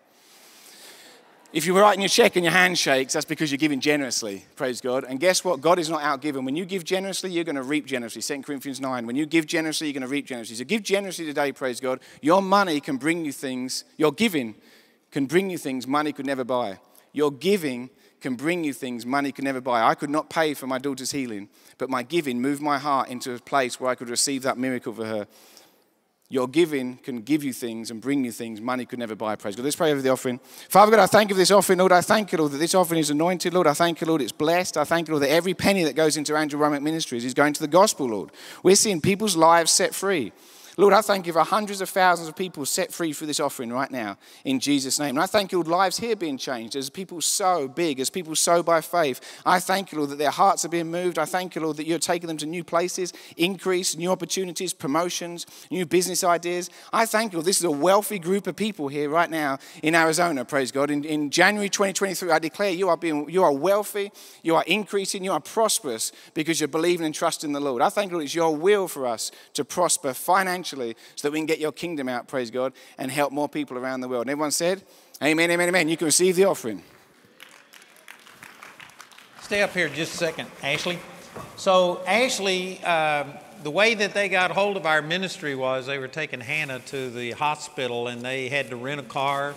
And, oh, you got a gift here. We don't want to miss this gift. And uh, they rented a car that didn't have a CD player, it only had a cassette player. And so they went to uh, Carly's mom and dad and said, Do you have a cassette tape? And tell, tell the story about how they got that cassette tape. So they, they had a cassette tape given to them from a friend of theirs who was a partner of yours. And when was the tape recorded? It was in Louisiana, right? Do you remember? Oh, it was 90s. It was probably 15 years before you It heard was, it. it was the, you said it was early 90s. Yeah, it was so early 90s. So the tape was recorded. Then it was sent as a partner gift. So the, the partners of yours in England, and then that partner gave it to my mother-in-law, and they just put it in their junk drawer. You know, I don't know about in America, but in England we have junk drawers, right? It was one drawer in the kitchen. We just throw everything, like old batteries and things like that. So it was in the junk drawer. So I said to her, "Hey, have you got any cassette tapes, any, any teaching tapes. So she looked around and she found a couple, and one of them was an Andrew Wommack cassette tape, an old white cassette tape. I still have that tape to this day. And we put that tape in, and that tape had about an hour and a half of teaching on it. And Andrew says that and he remembers teaching that I message remember because that message. it was like 10 minutes on everything. It was like 10 minutes on the better way to pray, 10 minutes on you've already got it, 10 minutes of God wants you well. I taught everything I know on that one tape. It was awesome. It was awesome, praise God. So, anyway, And, and the daddy in law uh, didn't like my voice. He couldn't stand it. And so he just threw it in this I drawer. never listened to it because of your voice. It was Yeah. a hindrance. I don't know what's wrong with accents, Yeah. but uh, it's, it's, it was a hindrance. So that tape was sent by a partner gift just think what that's done. And not only our daughter's life, but all the other lives we've seen healed and we've seen set free, praise God, through, through what we're doing. So I'm telling you, that one tape is amazing. It- And I it's amazing. remember the night that Hannah got healed, Ashley was just praising God, and he had Hannah on his shoulders dancing around. And as he came by the front, I recognized her, you know, and him that we'd pray for him. And I said, So what happened? He got up and gave the testimony about her going out. She had never eaten, and she went out and ate, what was it? Kentucky Fried Chicken. She had We never told her, eaten solid food. What would you like to eat? And she said, I want McDonald's. That's the power of advertising, I guess. I I said, that will kill a well person. So we went round looking for McDonald's, but we couldn't find McDonald's. We found KFC. So the very first meal, uh, solid food our daughter ever ate was fried chicken and fries and brownies. I mean, this is not, do not do this unless God tells you to do it. and, and she was 100%. She was absolutely fine. And uh, in fact, she started to choke up one time uh, on the way back to the conference. And you know, that teaching, the authority of the believer, just came back to my heart. And I, I turned around and I said, choking, stop right now in Jesus' name. And it stopped. And we had to do that a couple of times, but other than that, so. And so I, I remember when Ashley got up to give the testimony, he just stopped in the middle of it. And this touched me so much. But he, he said to all of you who are partners, he says, My daughter is alive because some partner enabled Andrew to send a free tape 20 years before that laid in a drawer dormant for 15, 20 years. And it was our partners that made that happen. So. Amen. Man, I just want to thank. I want to thank those of you. know, we quit counting at over 200 million free tapes, books, CDs that we gave away. And this isn't including our website that we have a million free downloads on that per month. But we have given away over 200 million free books, CDs. Our partners enable us to do that. And your daughter is alive and now has a little baby because of what our partners did. Amen. Isn't that awesome? Thank you, Andrew. Thank you, partners. You made, this is a great team. You're teaching, you're giving it away, and the partners are enabling you to do that. That's this is a great team, praise God. So thank you, everyone. So if you aren't a partner, why aren't you? That's right. What's wrong with you? Become a partner. You don't like, oh, I knocked my thing loose. This is a puny little deal. You'd think with all the money, you know, with all the money that we spend, we could get one that works. Would you fix that, Matt?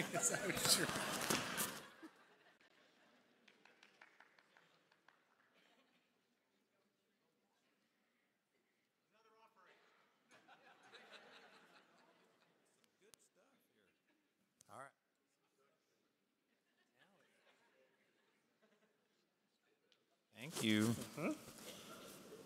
Excuse me while I dress here. All right. I tell you, I just praise God for all He's enabled us to do. Most of you are, don't don't know me real well and stuff, but you know we had uh, uh, Jerry White come up and Herman and I mean uh, yeah Herman. What am I thinking of? Hector. Hector and Mimi Torres came up. Man, I was here 40 years ago and they had me come and they've known me a long time. And Jamie and I were so poor back then we couldn't pay attention. And now God has increased the ministry and we're doing things, and it's exactly like what Ashley was saying. Uh, man, we've just given, we've trusted God, believed God, and it'll work for anybody. It'll work for anybody. Uh, you know, I'm, I'm teaching on how to hear the voice of God, and I was going to teach on five ways. I only have four sessions. I've already blown it the first night. I spent the whole night talking about how He speaks to us through our conscience, and so today I've made an adjustment. I'm going to talk about four ways to hear the voice of God. And actually, I could teach on what I want to share right now. I could teach on this for the rest of the weekend and probably over a week because I've got a series entitled A Sure Foundation. I've got a series entitled Effortless Change. I've got a series entitled Plain as Dirt. I've got a series entitled uh, The Word Became Flesh. And all of these are multiple series with four or five teachings in each one. And basically, it's all talking about how that the number one way, outside the most common way that God speaks to people is through the conscience. And even people that don't know the Lord have a conscience, and you can't uh, just ignore that. That is one of the ways that God speaks to us. So that is the most common way. But for a person who's born again, who gets born again, the Lord speaks to us through His Word. And this has to be the foundation. I'm going to be talking about other things, how God can speak to you very specifically. But the Word is the foundation, and it's like the plumb line. It's the thing that you check everything else that you say God has spoken to you. It has to measure up with the Word of God. And let me just start by sharing this testimony. Uh, this morning, Jamie was singing that song about how great thou art. And it made me think back that that was my dad's favorite song. And at his funeral, just a couple of weeks after I turned 12 years old, I was uh, at the funeral, and that's when they had, you know, the casket, an open casket, and I was standing there just about four or five feet away from looking at my dad's body, and, and the pastor was up singing, How Great Thou Art. And it just seemed so weird to me because I had fasted and prayed for about six months that my dad would be healed, and yet he died. And so here they were talking about how great God was, and yet it looked like that God didn't answer my prayers. And I remember as a 12 year old boy standing there watching my dad's body as they sang that song, thinking, God, if you're really great, reveal yourself to me. What is your purpose for my life? And so I prayed that as a 12 year old boy. And I really believe that what God has done in my life, that that's my prayer that He answered. But did you know I was 18? It was 12 years or six years later when the Lord actually, when I encountered Him. But let me back up just a bit. 18 months before that, I was getting ready to graduate from high school, and they started having career days and saying, What do you want to do with your life? And I've always believed that God had a purpose for my life. I could spend an hour or two teaching on this, but God has a purpose for every one of us. Psalms 139 Before we were even formed in our mother's belly, He had already written in His book all of our days were written out. He has a plan for every one of us. I've always believed that, but I just didn't know what the plan was. And when I was getting ready to graduate from high school, I started having to make decisions about what was I going to do. And so I really started seeking the Lord about what is your purpose for my life. I was wanting to hear God's voice. I was wanting God to speak to me. And I went to the pastor of our church. I went to a number of people and asked them, How do you hear the voice of God? And nobody could tell me. It was basically similar to the way that most people talk about how do you know the right one to marry?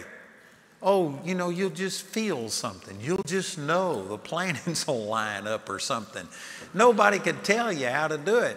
And so, my senior year in high school, I, I bought a um, Matthew Henry's commentary, five volumes of commentary, and I read every verse in the Bible. I read through the entire Bible and looked up every verse and read Matthew Henry's commentary on it. Now, I don't necessarily recommend that because it's not a spirit filled commentary, but nonetheless, what I'm saying is I got serious figuring that somewhere in this Bible there had to be my answer.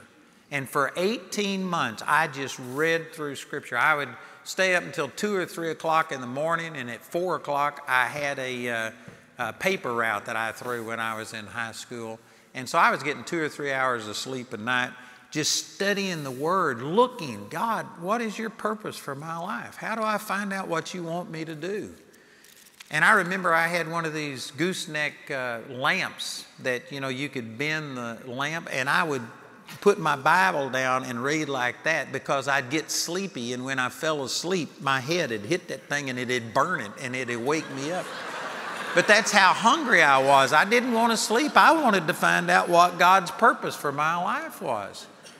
And you know, I came across a scripture in Romans chapter 12.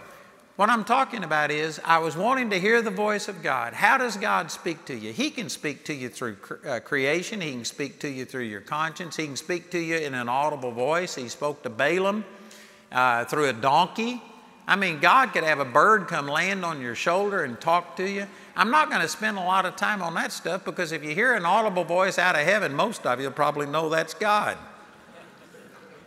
I'm going to talk about some more subtle ways. And God, He said in Hebrews chapter 11, verse 6, without faith, it's impossible to please Him. God can speak to you in an audible voice, He could hit you with a bolt of lightning. God can do things that take no faith, but that's not what pleases God. The dominant ways that God wants to speak to you is in these subtle ways that it takes faith for you to receive. And so, anyway, I was just studying and praying in Romans chapter 12, verses 1 and 2. Boy, when I read that, it's just like God lit a fire on the inside of me.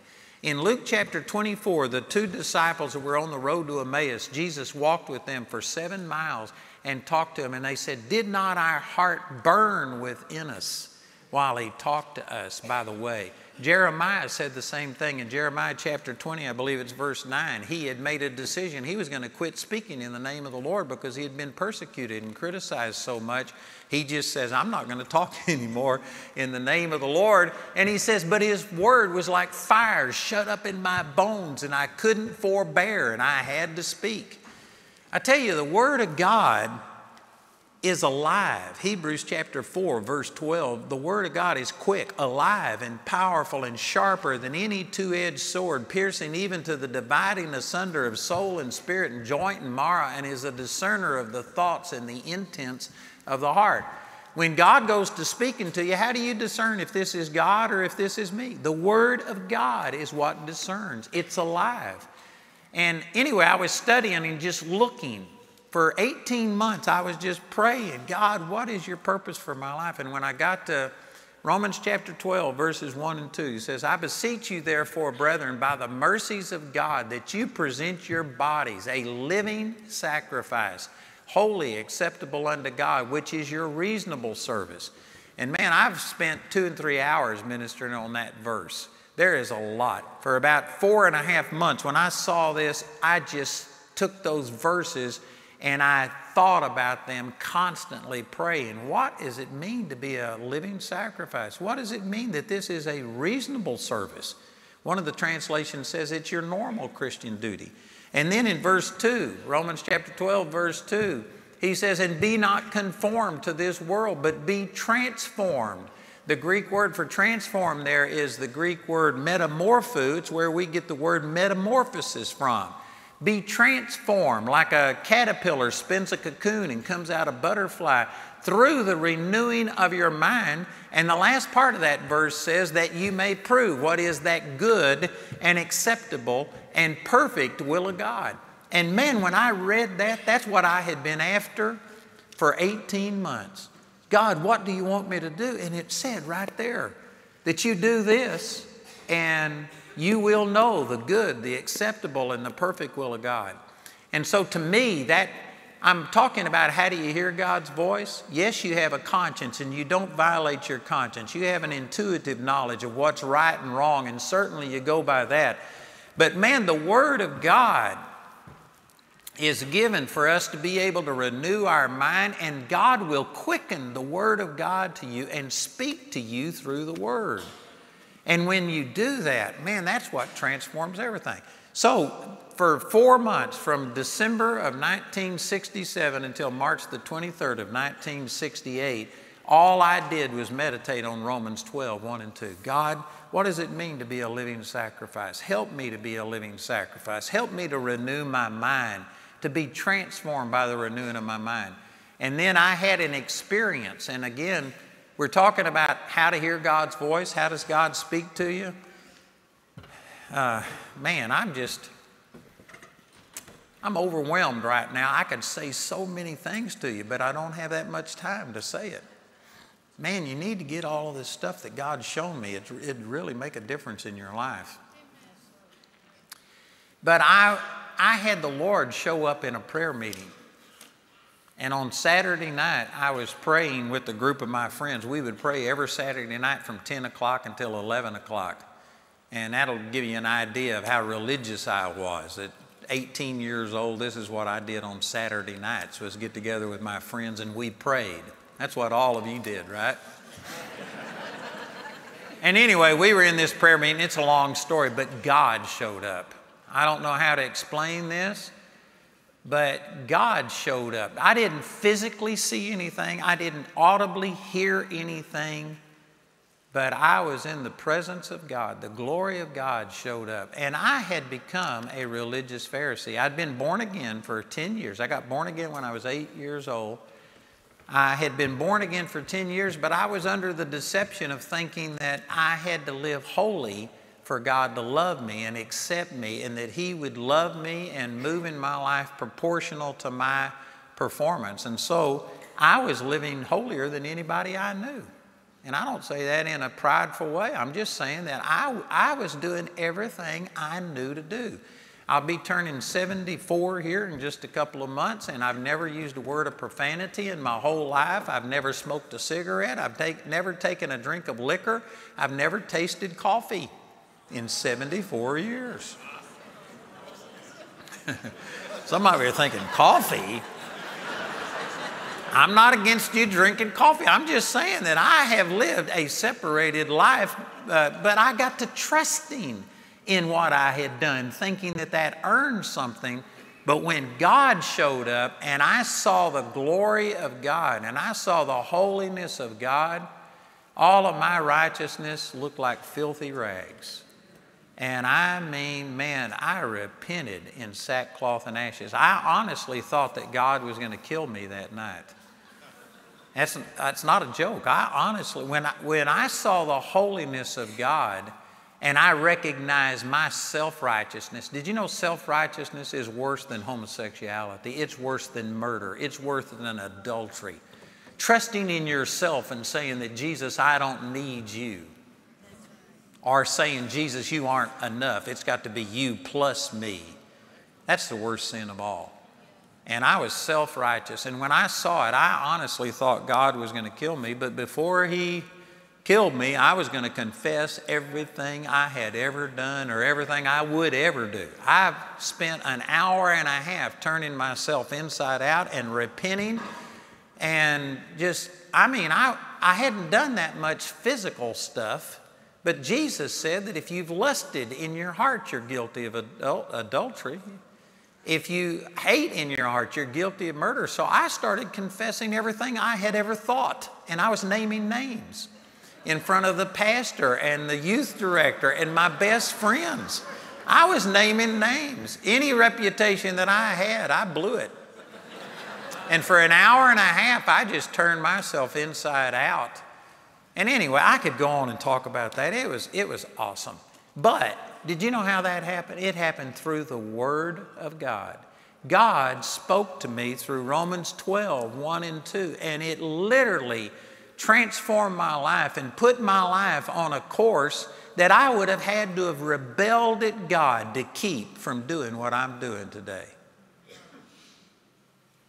People would like to have God speak to them and, and do something like that. But how many of you, and again, I'm not saying this to pat myself on the back, I'm just telling you this is how things happen. But how many of you are going to spend 18 months reading the Word? Even if you're sleepy, you're going to force yourself to stay awake. You're going to do whatever you've got to do because you know that somewhere in here is your answer. There's very few people that are that committed to the Word of God. There's a lot of Christians that don't even believe that the Word of God is infallible. They believe that it might contain His Word, but it's not infallible. You can't trust this. You can't believe the first 11 chapters of the book of Genesis about God creating the heavens and the earth. They believe that it happened over billions and billions of years, which I could spend hours talking on that. I just happen to have a series on that entitled Biblical Worldview Foundation Series that talks about that. Man, you, there's a lot of Christians that honestly just don't believe in the authority of the Word of God. But outside of Jesus coming and then leaving the Holy Spirit for us, the Bible is the most important thing for you hearing the voice of God that He has ever given us. There are people that have been martyred, that have been burned at the stake, Tyndale and so many other people that gave their life because they understood the importance of this. And yet there's Christians that don't even read it. You know, one of the requirements, if you come to our Bible college, in my class, you have to read the Bible in one year. It's 20% of the grade. If you made 100 on everything but didn't do the Bible reading program, the most you could make would be an 80. I just think it's terrible for a person to graduate from Bible college and have never read the entire Bible. We have a Bible college. This, our, this is our textbook. We've had people graduate from other seminaries and come to our Bible college and say that in four years of seminary, they never opened the Bible one time. They read books about the Bible. They read this person's opinion and eschatology and all of these things, but they never read the Bible. Man, this is the most important thing outside of Jesus and the Holy Spirit that has ever been given to the world.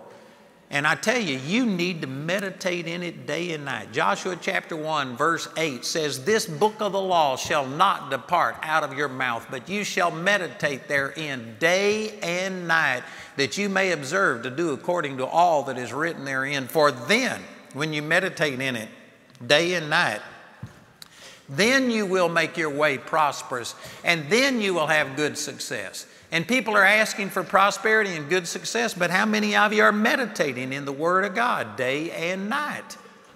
It's a prerequisite for you to be prosperous and have good success. You need to let the Word of God be transformed through the renewing of your mind, and you will prove. The word prove means to make manifest to the physical senses what is the good and the acceptable and the perfect will of God. I guarantee you, God's never made a single person and ordained you to be homeless, to be poor, to be sick, to be bitter, to be broken, to be depressed, all of those things. God never created a one of you for that. God hasn't written this in His book. That is not His plan for any single person. But for in order for you to see His will come to pass, you got to meditate in this Word. This is the thing that unlocks the will of God to you. Now you can get specific, and I and tomorrow I've got two sessions tomorrow. I'm going to talk about some other things about how you can get very specific direction. But why in the world would God speak to you specifically if you aren't doing the general word of God that's revealed in here? People have died to give us this, and most of us ignore it at best. At worst, many people don't even believe it. But some people who believe it don't ever spend any time in it and then you're wondering why God's not speaking to you. I guarantee you, you can't turn off your brain. Some people act like they can. Some people act like they're going through life without a brain, but the truth is, you're thinking something all of the time. And if you aren't letting the Word of God influence your thinking, then you're letting this world system influence your thinking. You're letting all kinds of other things. You are being programmed constantly. And you have a choice whether you're going to choose life or death. Deuteronomy chapter 30, verse 19 says, Behold, I call heaven and earth to record against you this day that I set before you life and death, blessing and cursing. Therefore, choose life that you and your seed may live. God gave you the choice, and it's a simple choice life or death. This ought to be a no brainer. You shouldn't even have to have much help on that. Man, I choose life over death, blessing over cursing. But just in case you're confused on this quiz, God tells you the answer choose life that you and your seed may live. You need to be meditating in this. You need to let God's word dominate you. And I tell you, our culture today is so contrary to the word of God. Lance the things that he was saying. He, he said a lot of the same things I was saying last night, but he just says it more succinctly. And anyway, I love the way he said it. It was awesome. But man, if you violate your conscience in the small thing, you are going to miss God in the big things. And, and our culture today has just progressively taken steps away from the foundation of this nation, away from the Word of God that it was founded upon. And many of us have embraced these concepts. Man, I, I try not to watch much television, but the few things that I watch, it's just perverse. It's demonic. Jamie and I were watching something on the, I think it was Black Entertainment Network or something. They came out with some of the most demonic shows. It's demonic, it's of the devil. And there's, I'm, i love you, but there's some of you that'll watch this stuff that is completely contrary to the Word of God and then wonder why it is that God's not speaking to you. He's speaking to you to quit watching that stuff. And you aren't watching, you're, you aren't obeying it. And if you aren't going to obey that, why does He speak to you about anything else? I tell you, the Word of God is foundational to us receiving the voice of God. Let me just share a few scriptures with you, and there's, there's so many, I'm just highlighting a few. But Psalms chapter 19, verse 7, the law of the Lord is perfect converting the soul. Man, I could preach an hour on every one of these things. The law of the Lord is perfect. It's not just good, it's not contains the Word of God. It is the Word of God. This is the Word of God. Man, for time's sake, I'm just going to quote some things here, but over in Second. Uh, Timothy chapter 3, Lance was using those first verses in the first six or seven verses in 2 Timothy chapter 3 in his session this morning. It goes on down there in verse 16 to say that all scripture is given by inspiration of God and is profitable for doctrine, for reproof, for correction, for instruction in righteousness, that the man of God might be made perfect, thoroughly furnished unto all good work. The Word of God will teach you everything that you need to know. It'll make you perfect and complete, wanting nothing. And if you look those words up in the Greek, when it says that all Scripture is given by inspiration of God, it literally means it's God breathed. This is not men writing about God, this is God speaking through man. God breathed the Word of God. And I know that some of you right now, I mean, here you are on a Friday morning. I appreciate you coming out here. You guys are to be commended.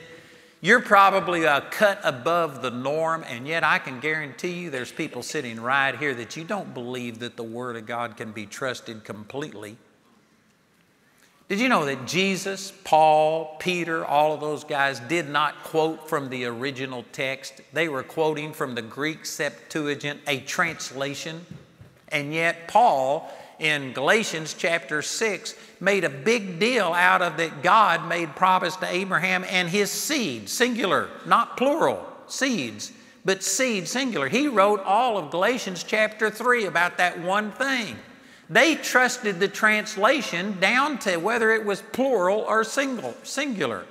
And yet, there's a lot of Christians today that say, well, maybe God originally in, uh, communicated the word properly, but man, it's been polluted.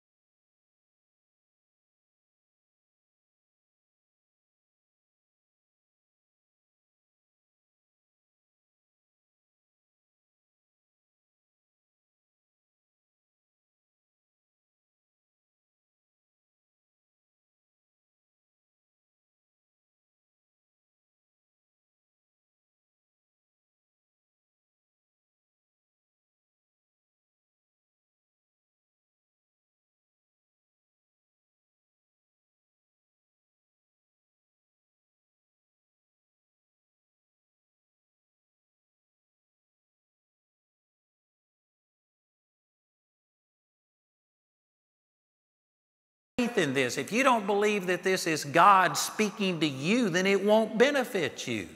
It won't help you. You've got to believe that God not only spoke originally to people, but He preserved His translation, and that this is God speaking to us today. You've got to approach this as this is God's Word. Over in uh, 2 Peter, or first, let's see, where is this? It's either first, I get the Peters mixed up. Over here in 2 Peter chapter 1, Peter was trying to verify that what he was saying was true. He says, I'm soon going to put off my body. The Lord showed him he was going to die. Lance made mention of that today that he prophesied to him and told him that he would be bound and led to places he didn't want to go. And anyway, he knew that it was about his time to go. And he says, So I'm writing these things down so that after my decease, you might have these things always in remembrance. And in an effort to show that this wasn't just a man's opinion, that he was speaking for God, he says, I heard the audible voice of God out of heaven say, This is my beloved Son, in whom I'm well pleased. I saw the glory of God come and overshadow him. And he began to start giving these things as verifications that what he had said was true and that it was the Word of God and not the Word of a man. And then, after he had said all of those things, he says in verse 19, 2 Peter chapter 1, verse 19, we have also a more sure word of prophecy. What can be more sure than hearing an audible voice or seeing a visible manifestation of God? Now, again, God can speak to you through those things. I'm not going to spend time on that because if you hear an audible voice, you should be smart enough to figure out that's God. And if you see a visible manifestation, you should be able to re- respond to that. But what could be better than those things? It goes on to say in verse 20, he says, Knowing this first, that no prophecy of the scripture is of any private interpretation, for the prophecy came not in old time by the will of man, but holy men of God spake as they were moved by the Holy Ghost. This word moved, if you look it up in W.E. Vine's expository dictionary of uh, Greek and Hebrew words, it means that they were moved along. They were born by the Holy Spirit as they wrote. So, Second Corinthians chapter, uh, second, uh, where was that? Second Timothy chapter 3, verse 16 says that all scripture is God breathed. This verse says that people were born along by the Holy Spirit as they wrote. This is God speaking through people. This is how God communicates to us. And I don't have a verse to put on this, but just my personal experience, I'd say at least 90% of everything that God has ever spoken to me came through the Word of God. Now, He can give you specifics. There isn't a scripture that says go on television. God told me to go on television. So you can hear things beyond the Word of God, nothing that will ever contradict the Word of God. The Word of God has to be the thing that you check everything you say that God is speaking to you. If it doesn't match up with the Word of God, then you kick it out. Satan can quote Scripture. Satan quoted Scripture to Jesus.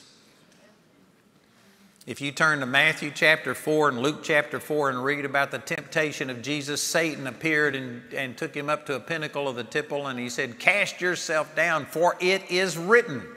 And he quoted from Psalms chapter 91, where he says, He will give His angels charge over thee. And he left out a phrase, to keep thee in all thy ways, which implies that there are ways that God has ordained for you to walk. And when you're walking and doing what God told you, there's supernatural protection. He left that phrase off.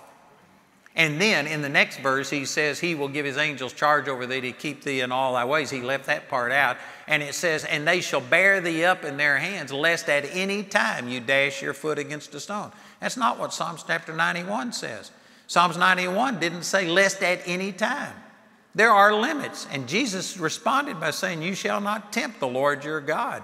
You can't just use things. See, Satan added parts to it, he took parts away from the scripture. Satan can quote scripture, and if you just have a casual uh, knowledge of the Word of God, Satan can mess you up.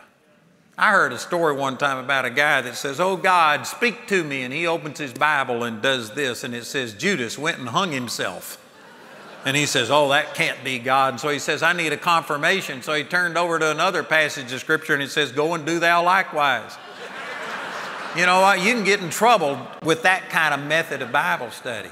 The Scripture says you need to study the Word of God to show yourself approved unto God, a workman that needeth not to be ashamed, rightly dividing the Word of truth. I think that's 1 Timothy chapter 2, verse 15. You need to study. This is God speaking to us, but you have to study the Word and put this Word into your heart in order for it to have its impact. Man, I, I got off on all of that by half of a verse over here in Psalms chapter 19, verse 7. The law of the Lord is perfect, converting the soul. The word converting the soul, if you study it back to its uh, origins, where it came from, it means returning you to an original position. Did you know if you're, if you're depressed, if you're sick, if you're bitter, if you're angry, if you're hurt, if you've got unforgiveness, and on and on and on it goes, none of us started that way. That's not how you started. You've become that way by avoiding your conscience, doing things and, and things that have happened to you But the law of the Lord is perfect and it will convert, it will restore you back to an original condition. It'll put you back to the way God intended your life to be. I don't care what's gone on in your life. And again, most people don't believe this. Most people believe that if you were sexually abused, if you were abused as a child, if you had this happen to you or that happen to you, well, then that just basically you have to limp through life and you're never going to recover from some of these things. Man, that's not what the Word of God teaches. The Word of God makes you a brand new person. Old things have passed away, all things have become new. 2 Corinthians 5 17. And this will convert you. It will put you back to an original condition. You don't have to limp through life and be a victim. You cannot be a victim and a victor at the same time. And people who've in, embraced a victim mentality, you are stopping yourself from ever being a victor because you just identify with that. The law of the Lord is perfect. It'll convert your soul, it'll put it back to an original condition. The testimony of the Lord is pure, making wise the simple. Man, we could spend so much time on that. Psalms chapter 119, uh, verse 99 says, as a matter of fact, I think I got that one marked. Let me read it to you. This is Psalms 119. There's 168 verses in this one psalm, and every one of them is talking about the power of the Word of God. Verse 99 says, I have more understanding than all my teachers, for thy testimonies are my meditation. Verse 100, I understand more than the ancients because I keep thy precepts. Did you know all of the problems that you have in your life, all of the problems that we have in this society are because people have departed from the precepts of the Word of God? In our Bible college, I teach a course on Proverbs, and we go verse by verse through the book of Proverbs. And I just was teaching this a couple of weeks ago. And I tell you, from, from Proverbs chapter 5 through chapter 7, it just talks about the adulterous woman, how that she's hunting and looking for the simpleton. Whoever is simple, turn in here. Her bed leads to the paths of hell. And I mean, if you were to just take Proverbs 5 through 7, and if that was in our American culture, it would radically, radically change everything. It would change the shows that are on, it would change all of the way that they're using sex to promote things. People have departed from what the Word of God says, and that's the reason that our, our society is in such a mess today. This nation was founded on godly principles. It was John Adams, the first vice president, the second president of the United States, that says democracy is totally unfit for anybody except a moral and religious people. If we ever cease to be moral and religious, democracy will destroy us. And that's what we see happening. They went on to say that there are no restraints. You can't pass enough laws to make people act right. If they ever lose a moral compass, you can't enact enough laws. And this is what we've done. We've lost our moral compass. They are allowing homosexuality, adultery, lying, stealing, all kinds of ungodliness. I mean, the Bible is literally made fun of. We had one of our, uh, I think it was a senator, anyway, somebody that was in the uh, government just a year or two ago, and one of the people stood up and started reading the Bible and quoting the Bible, and the guy shut him down and says, The Bible has no bearing on anything that we are doing here. I guarantee you that had made all of our founding fathers roll over in their graves. That is completely against everything. But this is the mindset of the ungodly. They have rejected all of the foundation. They, they make fun of you for believing the Bible. I guarantee guarantee you, you stand up and say, Thus saith the Lord, this is what the Word of God says, and our secular society will ridicule you. This is at the root of all of our problems. This is God speaking to us. This is God giving us parameters, sidelines. It's like, you know, if you're playing football, you've got sidelines and you can't go outside of those sidelines. You're out of bounds. We can't why, why do we want God to speak things to us if we aren't even following what His Word says? His word says that all of these things are an abomination to him, and he mentions those things by name, and yet our society today is promoting these things that God says are a total abomination. And then we wonder why we can't hear the voice of God. It's because we aren't listening to the voice that's written right here. You know, when the Lord finally called me, that experience that I talked about, man, after I saw the glory of God and I repented, and instead of God killing me, I had supernatural love flow through me for four and a half months. I was caught up in the presence of God for four and a half months. It was awesome. And I instantly knew that I was going to spend the rest of my life trying to share what I had seen and what God had revealed to me with people all over the world. And so I started heading in that direction, trying to share. But man, uh, I struggled for a long period of time because I was an introvert. I couldn't even look at a person in the face and talk to them. If a person that I didn't already know and have a relationship, if a stranger came up and talked to me, I just would freeze. I couldn't say anything. And yet I had this burning on the inside.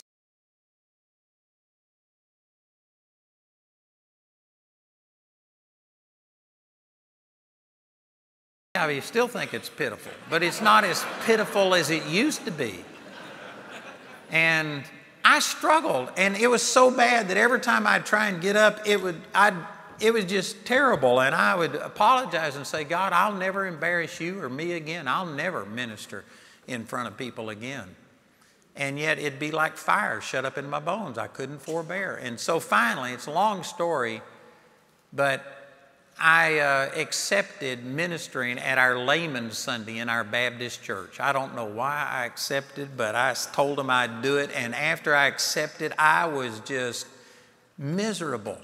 And this is right when Jamie and I got married. We, we got married in October, and in January, uh, I was it was coming due that I was going to have to minister soon, and I was sweating bullets and just saying, "Oh God."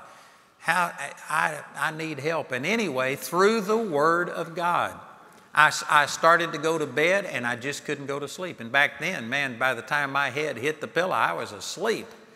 And I laid there for 30 minutes or so and I couldn't go to sleep. So finally, I got up and so to keep from waking Jamie up, I went into our little living room that we had in this one bedroom apartment.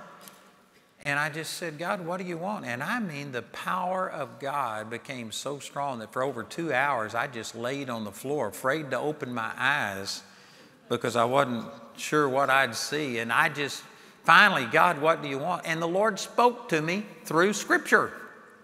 Jeremiah chapter 1, verse 4 Before I formed you in the womb, before you came forth out of your mother's belly, I sanctified you and I ordained you to be a prophet unto the nations. And Jeremiah responded exactly the way I was responding. He said, Ah, Lord God, I'm a child. I cannot speak. And he said, Say not you are a child, because you will go to all of the people that I send you to, and you will speak this word. And then he sent me over to Jeremiah 5:14. says, Because you speak this word, I'll make my word in your mouth fire, and the people would. And going back to Jeremiah chapter 1, then he touched uh, Jeremiah's mouth and put his words in his mouth. You know, that happened to me. January of 1973, God touched my mouth. God put His word in my mouth. And I mean, it just boom, it transformed me. I got up in front of my Baptist church. Before that, the longest I'd ever preached was five or 10 minutes, and that's after memorizing two or three sermons. And I'd get so nervous, I'd just preach them all in five minutes. I got up in front of my Baptist church and I preached for two hours. They had to come up and take the microphone away from me and tell me to sit down and shut up. Man, I was on fire. And you know how that happened? I'd been meditating in the Word, and God spoke to me through His Word. And I can, I'm going to give you many, many examples tomorrow when I teach on this of how you can hear specific direction and God, how God can give you specific direction but I'm telling you, there is nothing that you will ever hear from God in an audible voice, a vision, or anything that will ever supersede the Word of God. This is the foundational way that He speaks to you. And if you aren't honoring this, if you don't love the Word of God, Those scriptures over in Psalms 119, it goes on to say, Your word, I love it more than meat. I love it more than my life. If you don't love the word of God, if you don't honor this, then I don't believe that God is obligated to show you anything beyond this. Man, if I loved you enough that I wrote you something that would answer all of your questions, and people died to get this message to you. I mean, people gave their life, and then you take it and you just leave it on a desk somewhere and never open the thing. It'd be my reaction to think, well, why should I say anything else? God loves you. God, you're accountable.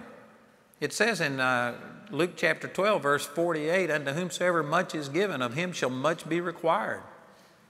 The more you're given, the more you're accountable to God.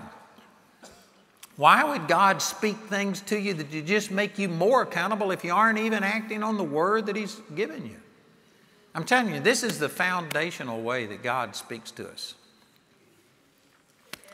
And, brothers and sisters, I'm not saying this to condemn anybody, but I'm saying it to open up our eyes we are wanting God to do these great miraculous things and to do something spectacular when we won't even take the written word of God that's already been given to us and we aren't living in it, we aren't honoring it. Man, I could make millions of applications right here, but just like what Ashley was talking about, he shared scripture with you about God loves a cheerful giver. Most of us know that, and yet most of us don't comply with it, and we don't sit there and give cheerfully. We give grudgingly and of necessity. He told us to give, and it'll be given back unto us. You could make so many applications right here. And there are people right here in this room who I love you, and God loves you, but you aren't acting on what the Word of God says concerning giving. And yet you're wanting prosperity, but you won't do what the Word of God says. It doesn't work that way. Man, if I had time, I could turn over to Mark chapter 4 and show you that the Word of God is like a seed. And 1 Peter chapter 1 verse 23 says we are born again not of corruptible seed but of incorruptible by the word of God that lives and abides forever. God's word is a seed. And over in 1 Peter chapter 1 verse 23 where it says that word seed that is translated from the Greek word sperm or excuse me spora which is how a flower pollinates, and spora is a derivative of the Greek word sperma, where we get the word sperm from. The Word of God is a sperm, it's a seed. And you have to take this seed and plant it in your heart. And if you do that, that's what this teaching I have entitled Plain is Dirt. That your, your heart is the soil, it's the dirt. The Word of God is the seed that activates what's in the dirt. You got everything in Christ that you'll ever need, but this is the sperm. It's just like a woman. She has everything that it takes to be able to produce children except a seed. The seed has to be sown. You have everything on the inside of you to, for healing. But you need to take the seed, the sperm of God's Word, and plant it in your heart. And God's Word, like it says over in Proverbs chapter 4, around verse 20, it says, It's health unto all of your flesh and life unto them that find it. Man, when people get sick, they want to go to the doctor and take a pill. What you need to do is take the gospel, amen, and sow this seed in your heart, and the word of God will be health. Psalms 107, verse 20 He sent His word and healed them and delivered them from all their destructions. The Word of God will bring healing to you. This is a seed planted in your heart, and I guarantee it'll produce health. Exodus chapter 23, verse 25 says that he, talking about this angel, will bless your bread and water, and I, God, will take sickness away from the midst of thee. The word take and away is the same Hebrew word, and it literally means to turn off. God will turn off sickness in the midst of you. That's the promise of the Word of God. There's not one out of a thousand Christians that believes that. Most Christians believe you just have to get sick. It's just part of life. Flu season. You don't have to do that. I'm not a perfect example, but man, I don't get sick. I don't believe in getting sick. I've actually had people that had COVID and they said, Don't touch me, I got COVID. I said, Come here. And I said, You touch me, those COVID germs will die. Amen. No plague. Psalms chapter 91, I believe it's around verse 10, 9 or 10, says, No plague will come nigh my dwelling. How many people believe that? And you're believing God for healing, and yet, man, people don't believe that. I tell you, brothers and sisters, all of our problems, not only on hearing the voice of God, but just so many things come back to the fact that God's word is not authority in our life. Romans chapter 3, verse 4 says, Yea, let God be true, and every man a liar. You have to let God be true and yourself be a liar. You have to let God be true and the doctor be a liar, the lawyer, the banker be a liar. God's word has to be absolute truth, final authority in your life. And if you don't have that attitude, you might have a miraculous encounter where a donkey comes up and speaks to you. You might have a bolt of lightning or something, but you aren't going to hear God on a consistent basis if you don't honor the word that He's already given you. And again, I'm preaching to the choir. You're the people that are out here on Thursday morning, Friday morning, whenever this is. You're the fanatics. And yet, I just know that there's a lot of you. If I, if I was if I was to ask you not just how many of you agree with what I'm saying, but how many of you practice it, how many of you spend lots of time in the Word of God? There would be a lot of people in this room that you agree with what I'm saying, but your lifestyle, you don't live it. You don't do it. You let other things choke the Word of God. The cares of this life, the deceitfulness of riches, and the other things choke the Word of God. You, you say that you believe what I'm saying, but you don't do it.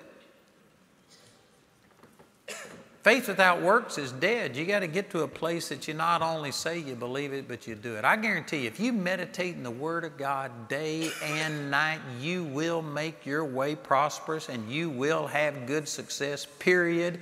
End of story. That's it. If you aren't prospering, if you aren't succeeding, you have not made the Word of God ultimate authority in your life. I had a woman this morning who hit her head and said, because of it, she's having depression and other things. And I said, So is it the hitting your head that's caused? And she says, I don't know if that's it or not. And I said, Well, I don't know what the problem is, but I know this that if you keep your mind stayed upon the Lord, He'll keep you in perfect peace. It doesn't matter if it's physical, it doesn't matter if it's demonic, it doesn't matter whatever. You keep your mind stayed upon God, you'll have perfect peace. If you don't have perfect peace, you haven't kept your mind stayed upon God. Period. End of story. That's it. It's not your hormones. It's not your chemical imbalance. People are always looking for some organic reason, some way that you can justify and deal with things without having to just seek God with your whole heart. I tell you what, that's not the answer to your problems. You might be able to cope using some of these other methods and stuff, but you'll never become a victor until you take the Word of God and it becomes absolute authority. And man, I'd, I've got about five or six hours worth of things I'd like to say, but I quit. The heart can't absorb more than the seat can endure. So, Father, we love you and we just thank you, Jesus. Thank you for coming and bearing all of this. Thank you, Father, for touching people's lives, speaking to them. Thank you for people literally giving their life, dying so that we could get the Word of God. Thank you that you spoke through people. Thank you that the Word of God is alive and powerful, that it burns in our heart. Thank you that you can give us direction through your Word. And Father, I just have shared these things from my heart. I believe that you touch people here today, that they would put a new importance a new priority on the Word of God. That if these things I've said are true, Father, I'm praying that you would just cause people to commit themselves to it, that they will search the Word of God day and night to be able to see their answer and to receive the things that they need from you. Holy Spirit, I just welcome you to take these words and let them burn in people's hearts. Thank you, Jesus. And Father, we thank you for that. And we, I'm just, I believe that God is causing some people right now to just make a commitment that you are going to put the Word of God as priority in your life. That you'll not go through a day without letting the Word of God literally dominate and impact you. Thank you, Father. We, we believe this is going to change people's lives, give them a path to run on. And we thank you for that in the mighty name of Jesus. I want to invite our prayer ministers to come down here. If there's something that we can help you with, you know, some of you may need to come down here and say, Man, I repent for neglecting so great a salvation. That's what it says in Hebrews chapter 2. How shall we escape if we neglect so great a salvation? Some of you are asking God and wondering, why hasn't God healed me? Why hasn't God blessed me? And yet you aren't taking the seed of God's Word and using it. You don't have to look any further than this. Some of you need to come forward and repent and say, God, forgive me, and just agree with somebody. But anything we can help you with, whether it's healing, whether it's finances, whether it's prayer for your marriage, or anything, we want to be able to help you. Remember that tonight we start at 7 o'clock. Lance is going to be up again tonight, and I tell you, I believe it's going to be awesome. And then we have uh, services tomorrow. We have two services in the morning starting at 9 o'clock, and then tomorrow afternoon we will start at 2 o'clock, 2.30 tomorrow afternoon, and that will be our last session, and we won't have a Sunday, uh, Saturday night service. So anyway, thank you for coming. God bless you. I pray this stirs you up so that you don't settle to the bottom. Amen. Come forward and let somebody agree with you. God bless you. You are dismissed.